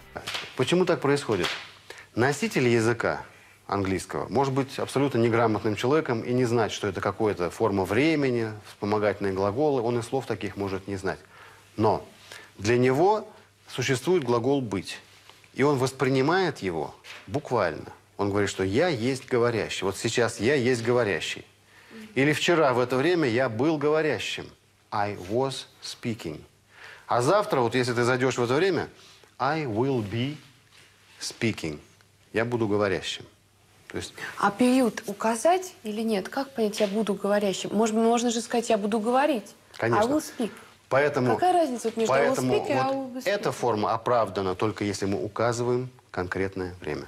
Только так. Да, вчера в 5 часов, завтра после обеда А или если- сейчас, вот в этот момент. А если вчера весь день? Или с 23 по 24 ноября? Тогда не- не- это не оправдано. Тогда мы скажем как? I spoke. А, все. Yesterday I spoke all То day. есть, если день тянется... Вчера я ве- весь день Если говорил. неопределенное время, да, не Да. какое-то конкретное. А если конкретное, да, тогда мы уточним. Если мы конкретизируем момент, то есть или по факту сейчас, вот когда я говорю I am speaking, А точно так. А я вот нашел, что можно использовать past continuous, когда вы говорите all day long, причем не на одном источнике. М? И когда время дается конкретное, с 5 до 6, допустим, ну, опять же, конкретное время, но это промежуток, там тоже можно использовать past continuous и так далее. То есть, ну, нельзя об этом говорить так категорично. Я еще понимаю, если бы он сказал, там очень много разных всяких моментов, да, очень много разных всяких вариантов, и очень часто это все смещается. Вы можете услышать одно, но тем не менее по учебнику будет по-другому. Я это все прекрасно понимаю, я бы ни слова не сказал. Но здесь говорит категорично. Зачем? Почему? Мне непонятно. Опять же, это не все ошибки. Я очень многие вырезал, потому что, ну, я не могу весь ролик посвятить этим ошибкам. Причем так получилось, что для этого ролика мне помогали собирать информацию. Дима, респект тебе, спасибо, ссылка на него в описании. Спасибо ему огромное за то, что он просматривал эти ролики также вместе со мной, помогал найти информацию, скидывал мне всякие видосы, и мы с ним смотрели, разбирали, общались на этот счет. То есть, опять же, повторюсь, у меня тоже есть эти ошибки, они есть у каждого русскоговорящего человека, но он синхронный переводчик, который переводит для Путина. То есть мы снова можем сделать вывод, что он врет. Он врет о том, что он переводчик. Он не полиглот, он не переводчик, но, возможно, он знает английский. Да, возможно, здесь я не буду ничего отрицать. Наверное, у него есть какие-то знания английского и так далее. Но чем он отличается от какой-нибудь учительницы в средней школе? Ничем, только именем. Понимаете, к чему я веду? Ладно, это что касалось ошибок. Давайте разберем саму его методику. Что же это за методика такая, которая поможет вам выучить язык? На самом деле там все очень странно, потому что Дмитрий рассуждает вот так. языка, когда я учу язык, или, или обучение других, через систему, структуру глагола. То есть глагол, то есть слово, означающее действие, а, я должен понять, какие его формы наиболее важны для конкретного языка, и освоить их. Это первый базовый алгоритм. После этого я могу накапливать э, словарь, который в основном уже будет состоять из существительных, прилагательных и так далее. Но основа всего вот это ядро, с которого начинается разматывание вот этой спирали, это структура глагола. Э, В любом языке, за который бы мы не взялись, по моему убеждению, надо все формы глагола давать сразу. То есть, чтобы мы сразу видели объемную структуру. Не так, что сегодня мы выучили это, через месяц там прошедшее время, через год вопросительную форму. Все сразу, в первые минуты. То есть он говорит о том, что нужно сразу все глаголы давать, все их формы, что, на мой взгляд, ну, можно понять, но тем не менее тоже выглядит очень странно. Итак, как происходит его урок? Для начала он разбирает какой-то грамматический материал. Чтобы сказать по-английски «я люблю», говорим «I love». И эта же форма действует для слов you, we. You love означает ты любишь или вы любите. Теперь, если лицо третье, то есть он, она, he, she, то здесь у нас добавляется буква S. Он любит. He loves. Она любит. She loves. То есть вот основная форма. Время настоящее, утверждение. И потом по итогу у него получилась вот такая вот таблица. И приправляя ее всякими вот такими веселыми фразочками и очень спорными заявлениями. М? Он, она. Это слова, указывающие на половую принадлежность человека, но это не грамматический род. То есть в русском языке есть большой, большая, большое. В английском языке этого нет. Там все будет big. По-русски поиграю литературно со словом «оно», там приколюсь как-то, то меня не смогут перевести. Абсолютно. Исключено. То есть мы не можем сказать про ребенка или про человека it. Не можем, да? Ну а как же, откуда тогда берутся все эти шутки, что, мол, типа, это вообще что такое, что это за чудовище, когда говорят про человека, что он не он, не она, он именно it. Почему детей многих называют it? Потому что их не любят, потому что они гадкие, мерзкие, даже не люди. А? Конечно, можно. Это опять же вводит в заблуждение. Это не так.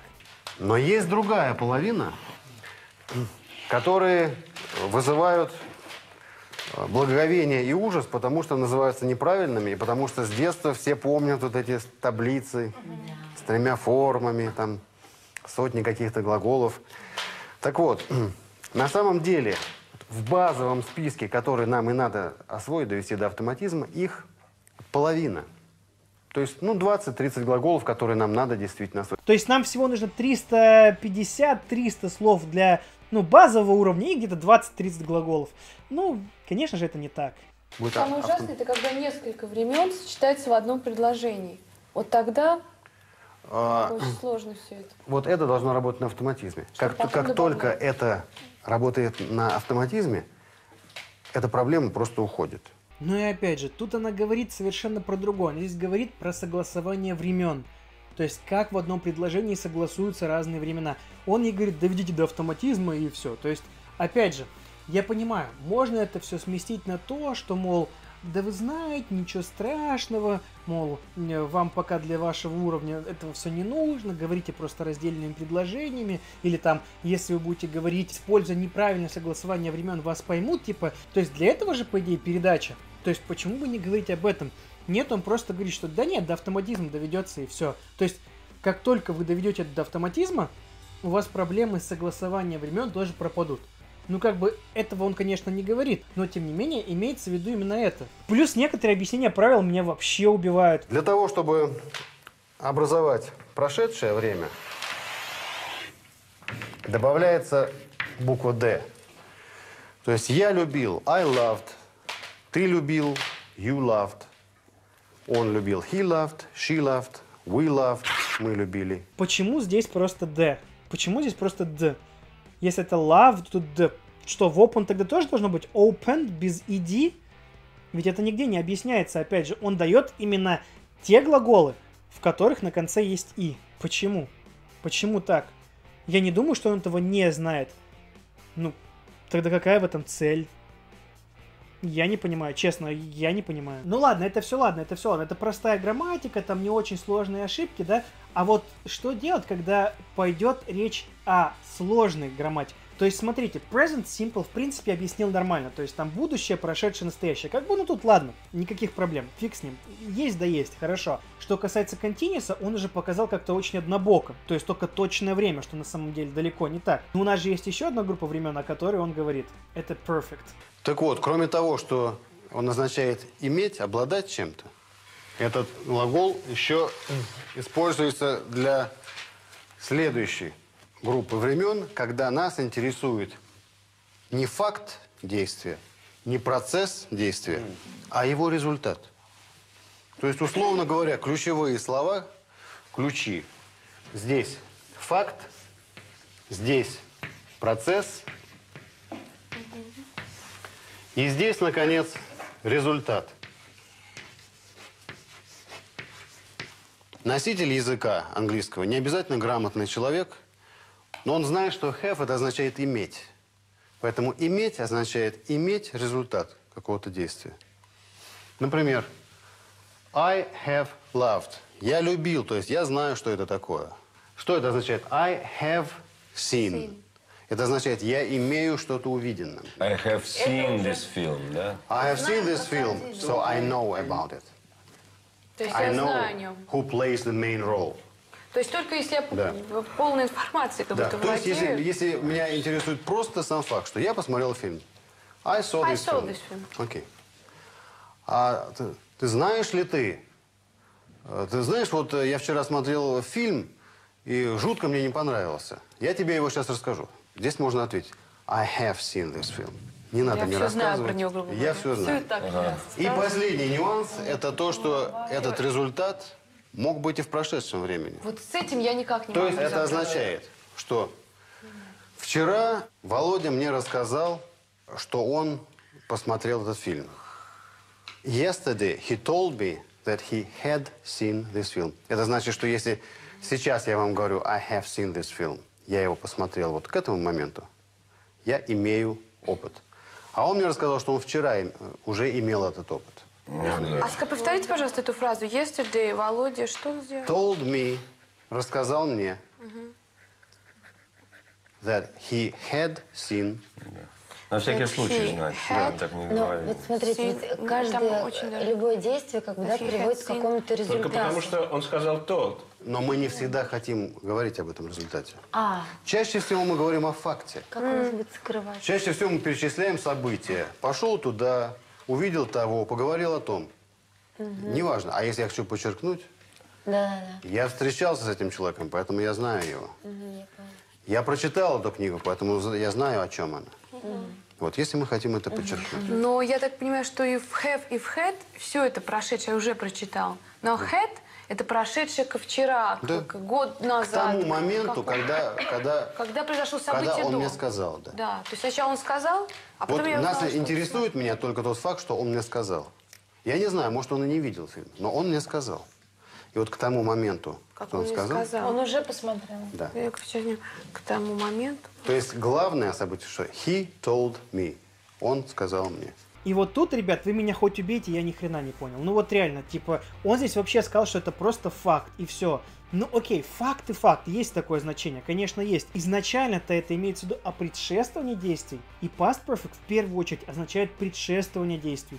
Это везде написано. Во всех учебниках это идет как первое употребление. То есть, что past perfect идет перед past simple. Это основа, и он об этом даже не упомянул. И как вы думаете, потом они это разбирали? Нет.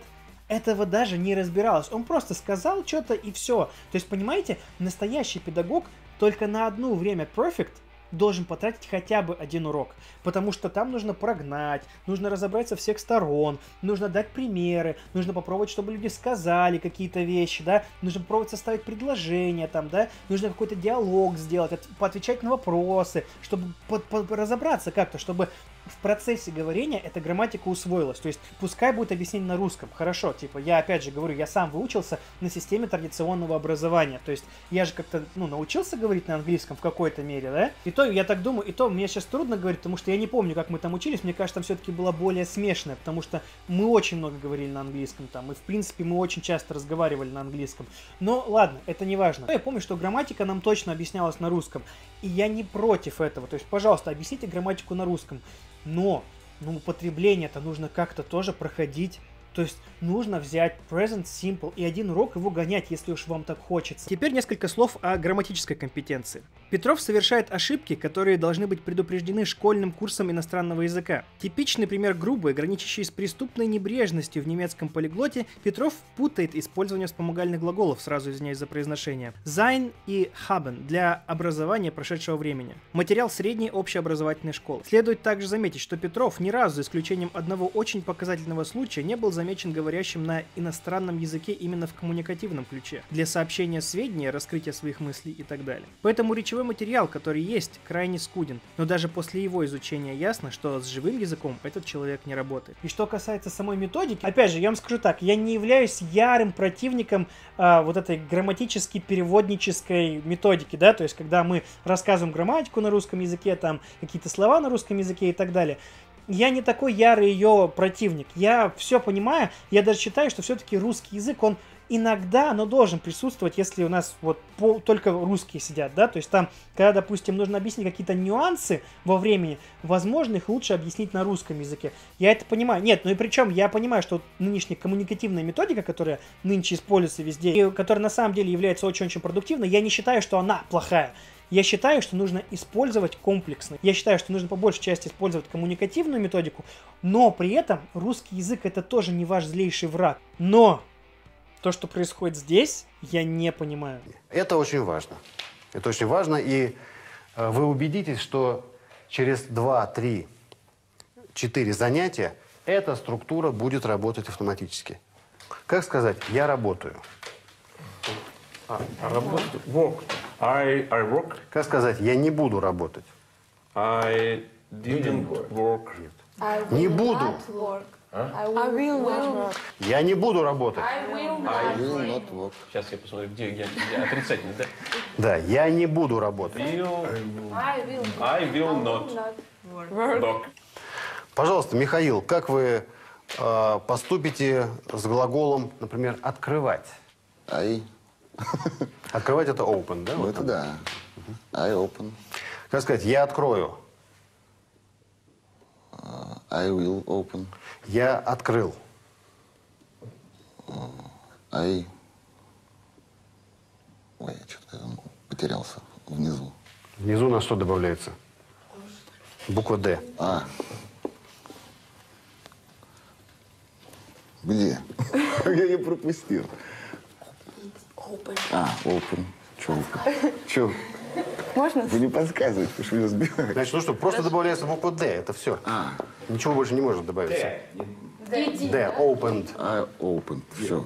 Все. Как, как спросить, ты открываешь? Здесь просто идет перевод фраз с русского на английский, с английского на русский. И опять же, все объясняется на русском. Ну ладно, здесь я могу понять, почему все объясняется на русском, потому что они нули.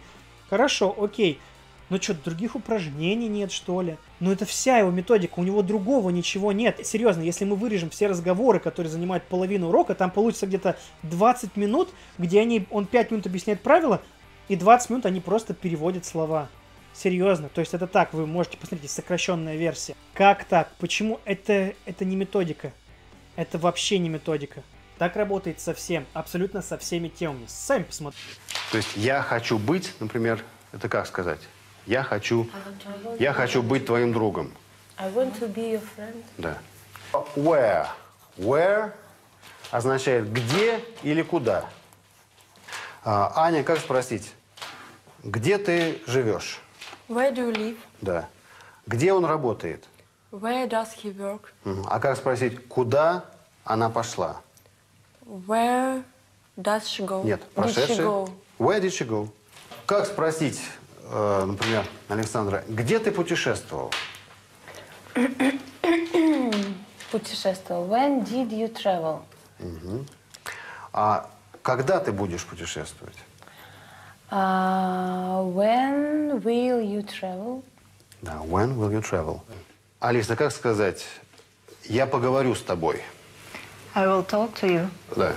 To you. Мгм. Ну хорошо, да, можно сказать with you или А, to you. with you. Мгм. Опять же, обратите внимание, там, когда речь зашла об артиклях, они их не практиковали. Кстати говоря, это то, что называют артиклями. тоже вызывает э, у многих наших соотечественников, потому что в русском языке нет артиклей, недоумение, зачем и откуда это взялось. А на самом деле, я считаю, что артикль надо сразу объяснять с того, откуда он взялся. The – это всего лишь сокращенная форма слова «этот». И ленивые англичане, чтобы слишком часто не произносить this, this, this, стали произносить просто the. А «э» – это сокращенная форма слова one – один. Ну, как интересно. Чтобы не злоупотреблять словом one, one, one, стали просто говорить «э». Поэтому, когда говорят о профессии, я являюсь одним из писателей. А если, скажем, будет звучать вопрос, где же этот писатель, который награждаем?» создал это, да где он? Тогда Олег смело выйдет вперед и скажет, I am the writer. Вау. Вот я тот самый. Кто? Кто? Где он? Где? Да. Я. Да вот же. Итак. А- Олег, если вдруг э, кто-нибудь поинтересуется, what do you write? А что вы пишете? I write uh, books, Roman and uh, Почему? Потому что артикли, ну, по сути дела, перевести невозможно, а все его обучение строится на переводе с одного на другое. Я, конечно, понимаю, что он синхронист, и, возможно, методику преподавания он не учил, но, ребят, это очень странно. Ну, типа, реально, в методике соблюдается очень много разных факторов. Нельзя просто, будучи переводчиком, брать и учить людей переводить. Типа, я понимаю, если бы у них была задача именно быть переводчиками, и он бы им там говорил, вот, используйте грамматические трансформации, лексические, но он даже этого, ну, как бы я вообще не понимаю. То есть, то есть этот курс, он не имеет ничего общего с каким-то реальным обучением. Но смотрите, в чем строится хитрость. Дело в том, что они позвали на передачу людей с абсолютно разным уровнем. Тут есть Епифанцев, который на английском говорит очень плохо. Uh, sometimes I work in a movie. Yes, I, I, not write uh, uh, tell in the movie, no? I must say I maybe to movie and yes, a movie, Well, a movie, yes? Вот Если в одном, то in a movie. In a movie. А если вообще в фильме? А, in, in the movie. Да. In movies, вообще movies. кино, да. Класс. Или in I cinema. work, uh, next uh, times uh, I want uh, we You will stage поставить. Will be will be play. We will play. We will play together. You will play together. Uh, yes. А в этом случае We will be play, мы будем. Нет, нет, We will play. We will play. Просто будущее. Есть еще там пару человек, которые говорят плохо, а есть девушки, я, честно говоря, не знаю имен, у которых уже есть база, некоторая база, и у которых уже разговаривали на английском. И что же вы думаете? Обратите внимание, как где-то к десятому уроку они начали разговаривать. I think I will go for a walk with my daughter maybe because I live. uh, After horse riding. Yes, after horse riding because I live um, in a very good place, in a forest, um, за городом. Это же In the country. In the country. Или out of town. out of town. Мгм. Yes. А after Where- city where do- нельзя Where do сказать. you live? I, I live in the nor- north of uh, Moscow область. Uh, Region. Мгм. Region, да. yes. Yes, uh, in very nice place on Yaroslavskaya штрассе. Highway. Highway. Yes, um, it is. Uh, there are a lot of trees and uh, everything is. Trees, uh, только. Деревья. Деревья. деревья. And uh, the time uh, changes. What kind of trees do you have? What name in your garden? Да все больше березки. Нет, нет, там ели. А как будет ели, я не помню. Fir tree. Спрашивайте тоже по-английски. It It depends. depends on uh, it depends on uh, traffic. Мгм. I want uh, I want she. А как сказать? Я хочу, Я хочу, чтобы она была I want her to I, be. uh, I want her to be happy. If uh, she will be happy being actress, okay, she should be an actress. But uh, I'm not sure. Для чего это делается? Это делается для того, чтобы показать, что в его курсе действительно есть прогресс. Посмотрите, вот кто учился, тот смог заговорить. Но опять же, мне могут сказать, да Кирилл, это дурак. Нет, вот это просто она реально училась, и она научилась. Ребят, она использует такие конструкции, о которых он даже не говорил. Она использует герунди, она использует depend on, о котором он сказал после. Я понимаю, что это передача, тут все подстроено, и актеры здесь взяты специально, чтобы было интереснее смотреть, потому что они как бы харизматичны, и, возможно, им выдали какой-то сценарий. Я этого не буду утверждать, потому что, ну, не, нельзя сказать однозначно, потому что они порой задают вопросы, и порой сам Петров такой не знает, как на них такой, ну, э, я, я не знаю. Я, короче, не знаю, возможно, там было наполовину, как делается в Доме 2. Там дается сценарий, и плюс еще записывают то, как они сами что-то делают, какую-то какую дичь творят. Мне кажется, здесь примерно то же самое. Понимаете, у Петрова, у него очень странная методика. Вот то, что в школах даже, в обычных школах используют как фон зарядку, то есть чтобы ученики немножко разговорили, чтобы они там немножко свой реч- речевой аппарат настроили, им сдается, можно с ними сделать небольшую беседу, да, то есть там How are you? What did you do yesterday? И такие всякие простые фразочки, может быть, про кино, там тоже что-то связанное с их интересом обсудить. Но на это тратится там, ну, 10 минут, ну, 5 минут у него 20 минут однообразной какой-то непонятной фигни. Потому что, опять же, повторюсь, урок — это вещь комплексная он должен формироваться из разных частей. Там где-то аудирование, там где-то говорение, там письмо, там чтение. Потом это все там как-то поменяли, получился диалог, там что-то они прослушали. Нельзя урок просто сделать из одного перевода. Вы так говорить не научитесь. Вы научитесь переводить. Это да, наверное, научитесь. Но говорить это проблема. И опять же, повторюсь, это занимает 20 минут, они вот так разговаривают. А остальное это какая-то непонятная чепуха, состоящая вот из этого. Английский язык. Что сразу приходит в голову? Нет уверенности, улыбка, нет, красный автобус. Да, нет, у кого-то образ может быть визуальный. Вот почему невозможен идеальный учебник для всех? Потому что у всех разные образы. Есть люди, которые воспринимают зрительно, э, зрительные ассоциации. У кого-то может э, какая-то быть звуковая ассоциация. Звуки, песен, голос чей-то, какие-то слова. Кто-то может увидеть ассоциацию через вкус или запах, или воспоминания, или какие-то физические ощущения. Но это очень важный момент, потому что он дает нам эту объемность восприятия. Это что имеется в виду? Эмоциональное восприятие, конечно. Эмоциональное и образное. Эмоциональное это то, что связано с мотивацией, почему мне это нужно, почему мне это интересно. А образ это что сразу спонтанно, а, без того, чтобы я специально вызывал себе какой-то образ, что пришло сразу. А что это дает, Это служит неким аналогом такого пароля, кодового знака, для того, чтобы войти в это пространство. Чтобы мы воспринимали язык не просто как некая схема, написанная на доске или в тетради, а сразу воспринималось как некое физическое присутствие в новом измерении. Поэтому первое, что мы делаем, это вспоминаем вот этот, нажимаем на эту кнопочку чтобы войти в этот образ и почувствовать себя там комфортно, ощутить свое присутствие. Нет, это сто процентов ирландский. Ирландский, все, ирландский. А какой? А мне? Ирландский. Ирландский, э, он достаточно похож на русский. То есть там ре, да, там русская ре, русская х. Да. А, да, там интонация очень приближенная. Такое, слова немножко оторваны друг от друга. Да, то есть man. Ты ближе к немецкому, да? Русскому. Какие-то образы, опять же, какая-то фигня непонятная. О методической компетенции Петрова вкратце можно сказать следующее. Он предлагает работать над языком в отрыве от самого языка. В англоязычной методической литературе применяется термин language input, вводимый на занятиях новый аутентичный или адаптированный языковой материал который постепенно становится сложнее по мере развития языковых навыков у студентов. Этого нового языкового материала не было вовсе. По мнению ряда коллег, Петров лишь перегружал память учащихся переводом искусственно созданных предложений с русского на английский на фоне полного отсутствия постановки перед ними коммуникативных задач. Он выдал грамматико-переводной метод, при этом в худшем, наименее творческом его проявлении за инновационную методику. Метод, унаследованный от методики преподавания латинского языка в эпоху Возрождения. Метод, рассвет которого, например, в России пришелся еще на дореволюционную эпоху, когда методика как наука еще не стояла на научной основе. Современные учителя тщательно работают над совершенствованием техник организации работы в аудитории. Classroom Management Techniques, которые у Петрова совсем не развиты. Так, например, он огромные относительно общей длительности занятия отрезки времени затрачивает на собственные монологи на русском языке. Teacher Talking Time. В итоге время занятия расходуется нерационально. Складывается удивительная по своей нелепости ситуация. Непрофессиональный преподаватель, уровень которого по совокупности всех его компетенций не достигает даже среднего, претендует на звание методиста-новатор. Человек, который берется обучать множество людей языкам для их использования в ситуациях общения, сам не демонстрирует навыков коммуникативной компетенции.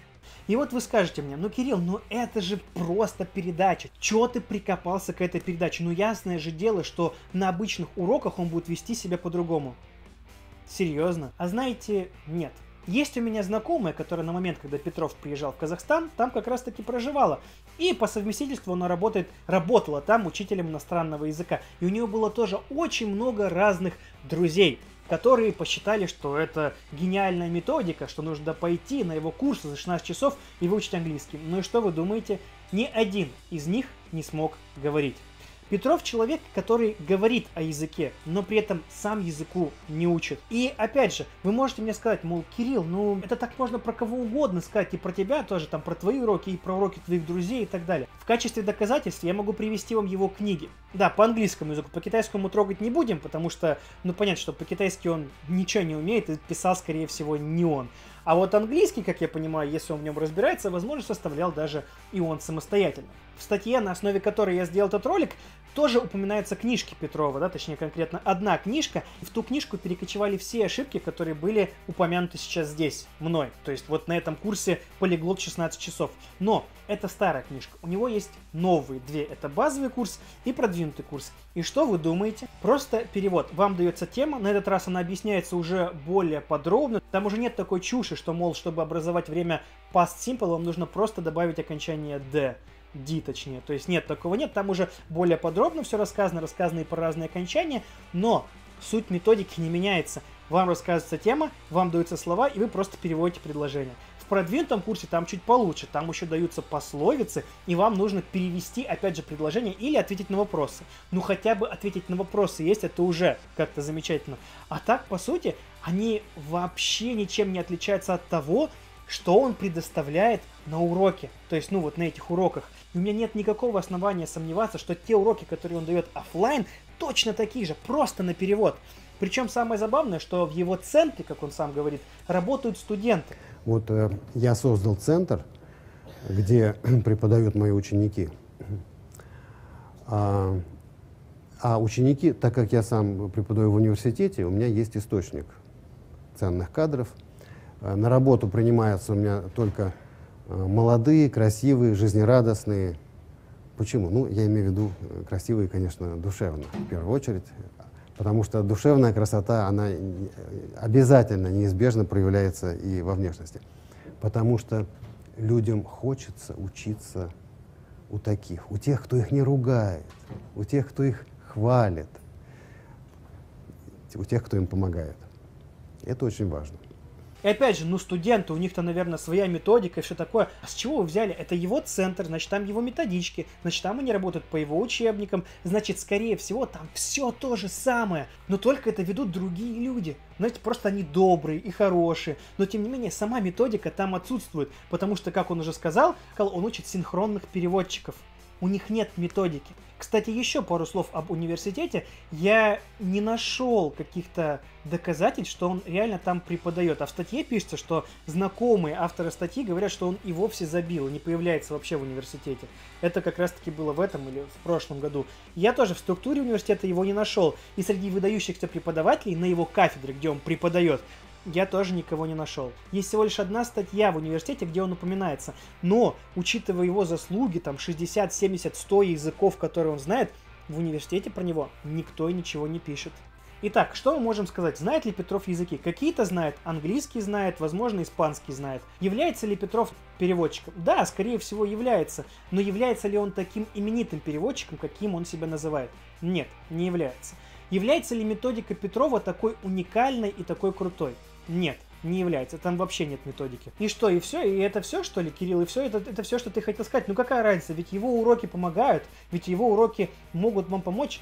Ребят, я вам скажу так, вы, если хотите, вы можете смотреть его уроки, хотя я, по-моему, уже показал, что его уроки как таковой ценности не имеют. Возможно, единственный урок, который имеет ценность, это первый, в котором он рассказывает самые основные истины. Ну, может быть, второй, когда речь заходит о более сложных моментах, там ничего нет, там наоборот все запутано, там все очень непонятно рассказано, и как они ему помогут, я не знаю. Да, признаюсь, я сам ссылался на Петрова, когда делал разбор Вени Пака и Марина Могилка. Да, было такое, но я признаюсь честно, я не смотрел тогда все уроки Петрова. Я посмотрел первый и думаю, ну, в принципе, окей, наверное, да, там какие-то, видимо, есть недостатки, ну, чувак что-то рассказывает, почему бы и нет. Сейчас я считаю, что я был неправ. Я так не должен был делать, это была абсолютная ошибка с моей стороны. На тот момент я действительно считал, что он умеет разговаривать на языке, и действительно думал, что его уроки можно взять хотя бы в качестве бесплатной основы. Возможно, так оно и есть, но я, опять же, очень не, рекомендую после просмотра всех его роликов. А перед тем, как перейти к выводу, я все-таки хочу задать один вопрос. Почему Петров такой популярный? Не имея какой-то методики, не имея каких-то очень сильно глубоких знаний, почему он популярен и почему у него так много поклонников? И на этот вопрос нам тоже ответил автор статьи. Приемы Петрова, помогающие ему ввести в заблуждение слушателей. Отправная точка – создания личного бренда «Полиглот» на неправдивой основе, который сразу же поднял его над массой преподавателей иностранных языков и вооружил некой стратегией полиглота Петрова, который, согласно легенде, могут овладеть все желающие. Девиз его школы «Полиглотом может стать каждый». Статус университетского, якобы действующего преподавателя перевода, переводчика-синхрониста, миф о прожженном профессионале в области практического владения языками, количество которых меняется из одного интервью в другое. Те немногочисленные высказывания Петрова о своем переводческом опыте дают основания усомниться в том, что он действительно профессионал в этой области. Например, он не различает виды устного перевода, противопоставляя устный перевод синхронному. На самом деле синхронный перевод – это разновидность устного перевода наряду с последовательным. Попытки превратить лингвистические знания в мистические, эзотерические, а сам язык – вещь в себе, из которой невозможно вычленить структурные элементы, поэтому и воспринимать его нужно как пространство, его излюбленное слово, в котором приятно находиться. Другими словами, ловля рыбы в мутной воде. Дискредитирующие любого специалиста-языковеда утверждение о том, что грамматическая система языка зависит от уровня социально-экономического развития народа, который им пользуется. Представление журналистских уток лингвопрагматической мудростью. Придумывая наукообразных, но отсутствующих в научном обиходе и не обладающих конкретным объемом значения терминов. Лингвобайт – языковое гостеприимство. При этом неизменно делается оговорка в духе «я так вижу». Раздача советов, которые не только не помогают в изучении языка, но вполне способны нанести существенный вред процессу обучения. Например, имитация фонетических особенностей иностранного языка на родном языке, вместо отработки произношения на изучаемом и прочее. Обособление себя как якобы специалиста, языковеда и психолингвиста от каких бы то ни было школ научной мысли. Иначе деконтекстуализация своей деятельности. Создание вокруг нее информационного пузыря, попав в который студенты или слушатели не смогут понять место Петрова и его метода в общей системе научно-методических координат и будут вынуждены воспринимать метод как творение уникального специалиста, у которого не было ни одного предтечи. Применительно к массовым сеансам на примере обучения казахскому языку, которым Петров не владеет, использование техник работы с аудиторией, основанных на воздействии определенных цветов и гипнотической музыки, полумрак, который приводит скорее к усыплению аудитории, чем к активизации мыслительных процессов для обладания информацией, отрицание или напускное равнодушие к общепризнанным наработкам профессионального сообщества. В частности, Петров пренебрежительно отзывается о системе уровней владения иностранным языком, используемом в Европейском Союзе, CEFR. Ознакомление с его аргументами указывает на его плохую осведомленность в этом вопросе, вплоть до того, что он вообще не понимает цели и задачи, которые ставило перед собой профессиональное сообщество при разработке этой шкалы. Вместе с тем, в одном из интервью Петров предложил свою систему, которая была настолько слабо проработанной и явно копирующей CEFR, что создалось впечатление, будто он выбрал ее в ходе разговора. И что у нас по итогу получается? Петров такой милый, добрый человек, такой гуру английского языка, на самом деле наживается на работе обычных преподавателей и тем самым принижая работу преподавателей. Ведь он говорит, что больше года вы учить язык не должны, подкрепляя к себе доверие, что он работает каким-то очень крутым переводчиком, какими-то эзотерическими фактами, которые трудно подтвердить научно, какими-то непонятными фактами о языке, которые тоже трудно подтвердить. Тем самым он просто набивает себе очки, чтобы вы ему доверились, чтобы вы поняли, что то, что преподают в школе, то, что преподают на других курсах, это все неправильно. Вот в его центре, или если вы купите его курс за 16 часов, да, его матрицу, скажем так, то вы научитесь говорить, вы научитесь понимать, вы сразу же войдете в язык. Мы имеем, мы имеем очень дутую куклу. Мы имеем абсолютно обычного выпускника вуза, да, который, возможно, знает какие-то нюансы, возможно, где-то что-то перехватил, возможно, даже знает какую-то информацию о языке, возможно, он даже может преподать вам грамматику. Но чем этот преподаватель отличается от любого другого преподавателя в средней школе? По мне, только лишь тем, что он не знает ничего о методике преподавания. И вы знаете, любой из вас может выучить английский язык за 16 часов, и любой из вас может его преподать. Ведь не важно, какое будет ваше произношение, не важно, какая у вас будет грамматика, не важно, сколько вы понимаете, сколько слов вы знаете. Самое главное сделать вид, что вы знаете. Самое главное это показать, что вы уверенно говорите какую-то глупость. И ведь люди поверят, ведь люди не будут проверять. Они посмотрят и потом купят ваши курсы. Ведь если этот человек смог выучить язык за 3 месяца, то и вы сможете. А самое главное, у вас научит. Понимаете, он вас научит, потому что он знает уже, как это делается. Понимаете, есть таблетка, и он вам ее даст. Из чего, на ваш взгляд, складывается популярность Дмитрия Петрова и кто, по-вашему, составляет круг его почитателей? Главный двигатель популярности Петрова – это мощная медийная кампания, которая приводится при содействии его друзей, финансово заинтересованных в успехе проекта Дмитрий Петров – уникальный методист и полиглот, а также ряд техник психологического влияния на целевую аудиторию, который Петров отработал еще в начале 2000-х, когда был активным участником мистического центра Шакти и группы «Свободные мистики». Проводя в Казахстане тренинги якобы по психолингвистике, хотя ничего общего с этой наукой они не имели, а скорее походили на сеансы группового внушения в духе телевизионных евангелистов. В этом свете симптоматично звучат слова друга Петрова, казахстанского журналиста Борейка, о том, что Петров – языковой евангелист. Круг почитателей Петрова – это, с одной стороны, профессиональные фанаты, а по сути пропагандисты, о которых говорилось выше. Они заинтересованы в его успехе, потому что в то или иное время оказывали ему поддержку на государственном уровне или спонсорскую помощь. А проекты, в которых Петров выступает приглашенным лектором, приносят им постоянный доход. Лектории «Прямая речь» в России, лекторий КЗ в Казахстане. С другой стороны, в число его почитателей входят широкие слои населения, которые по старой привычке воспринимают информацию, транслируемую в средствах массовой информации, как истинную, и не пытаются даже поставить ее под сомнение. Даже признаваясь в том, что далеки от темы преподавания языков, эти люди, тем не менее, часто заявляют «Петров – капитальный красавчик», поэтому чушь нести не может. Телеканал «Культура» — это бренд, поэтому глупости показывать не станет. На фоне этого безусловного принятия истинности слов Петрова им начинает казаться, что язык, столько лет для них недостигаемый, наконец-то стал доступным, ведь барьер критического восприятия максимально снижен в результате действия эффекта ореола, как-никак сам языковой евангелист преподает, грех не научиться. Когда Петрова критикуют и называют явные примеры его вранья и некомпетентности, они реагируют крайне агрессивно, проклиная своих оппонентов и в отдельных случаях угрожая физической расправой клеветникам. Для них Петров не преподаватель иностранных языков, а учитель, святой человек, как выразился один из преданных поклонников. Петров только лишь выглядит таким добрым и хорошим человеком. Просто понимаете, он не говорит о своих претензиях открыто, он говорит очень мягко, он говорит завуалированно, но тем не менее все понимают, в кого он бросает камни. Петров, как и подобные ему Алекс Рубанов, Юлия Горбовская, Михаил Шестов и прочие, прочие, прочие, можно продолжать до бесконечности, не хотят вас научить. Более того, они не могут вас научить. Они хотят срубить с вас денег. А чем мы отличаемся, по сути, от детей? Да ничем.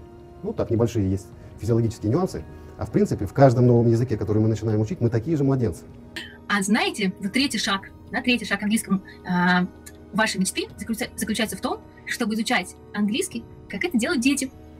А каким образом это делают дети? Сколько времени нужно уделять иностранному языку? Это может быть несколько минут, но каждый день? Или 2-3 часа, но 2-3 раза в неделю? В изучении языка важен не столько объем, сколько непрерывность. То есть каждый день? Да, я знаю массу случаев, когда люди с энтузиазмом берутся за новый язык, говорят, теперь каждый день по 2 часа. Ну, правда, не сегодня. И завтра не, не получится. После, ну, с понедельника, с Нового года. Как спорт. Никогда. Да. Поэтому надо ставить реалистичную задачу. Пусть это будет 5 минут, 10 минут, несколько минут, но не пропуская ни одного дня. Пожалуйста, попробуйте заниматься по чуть-чуть, но каждый день. По, хотя бы по 15 минут в день. Не пропуская ни одного дня, регулярно, постоянно, каждый день. Любой из вас, кто занимался хоть каким-то видом спорта или танцами, слышал от тренера, преподавателя, инструктора, не напрягайся, а доведи до автоматизма базовый набор каких-то базовых навыков и не напрягайся.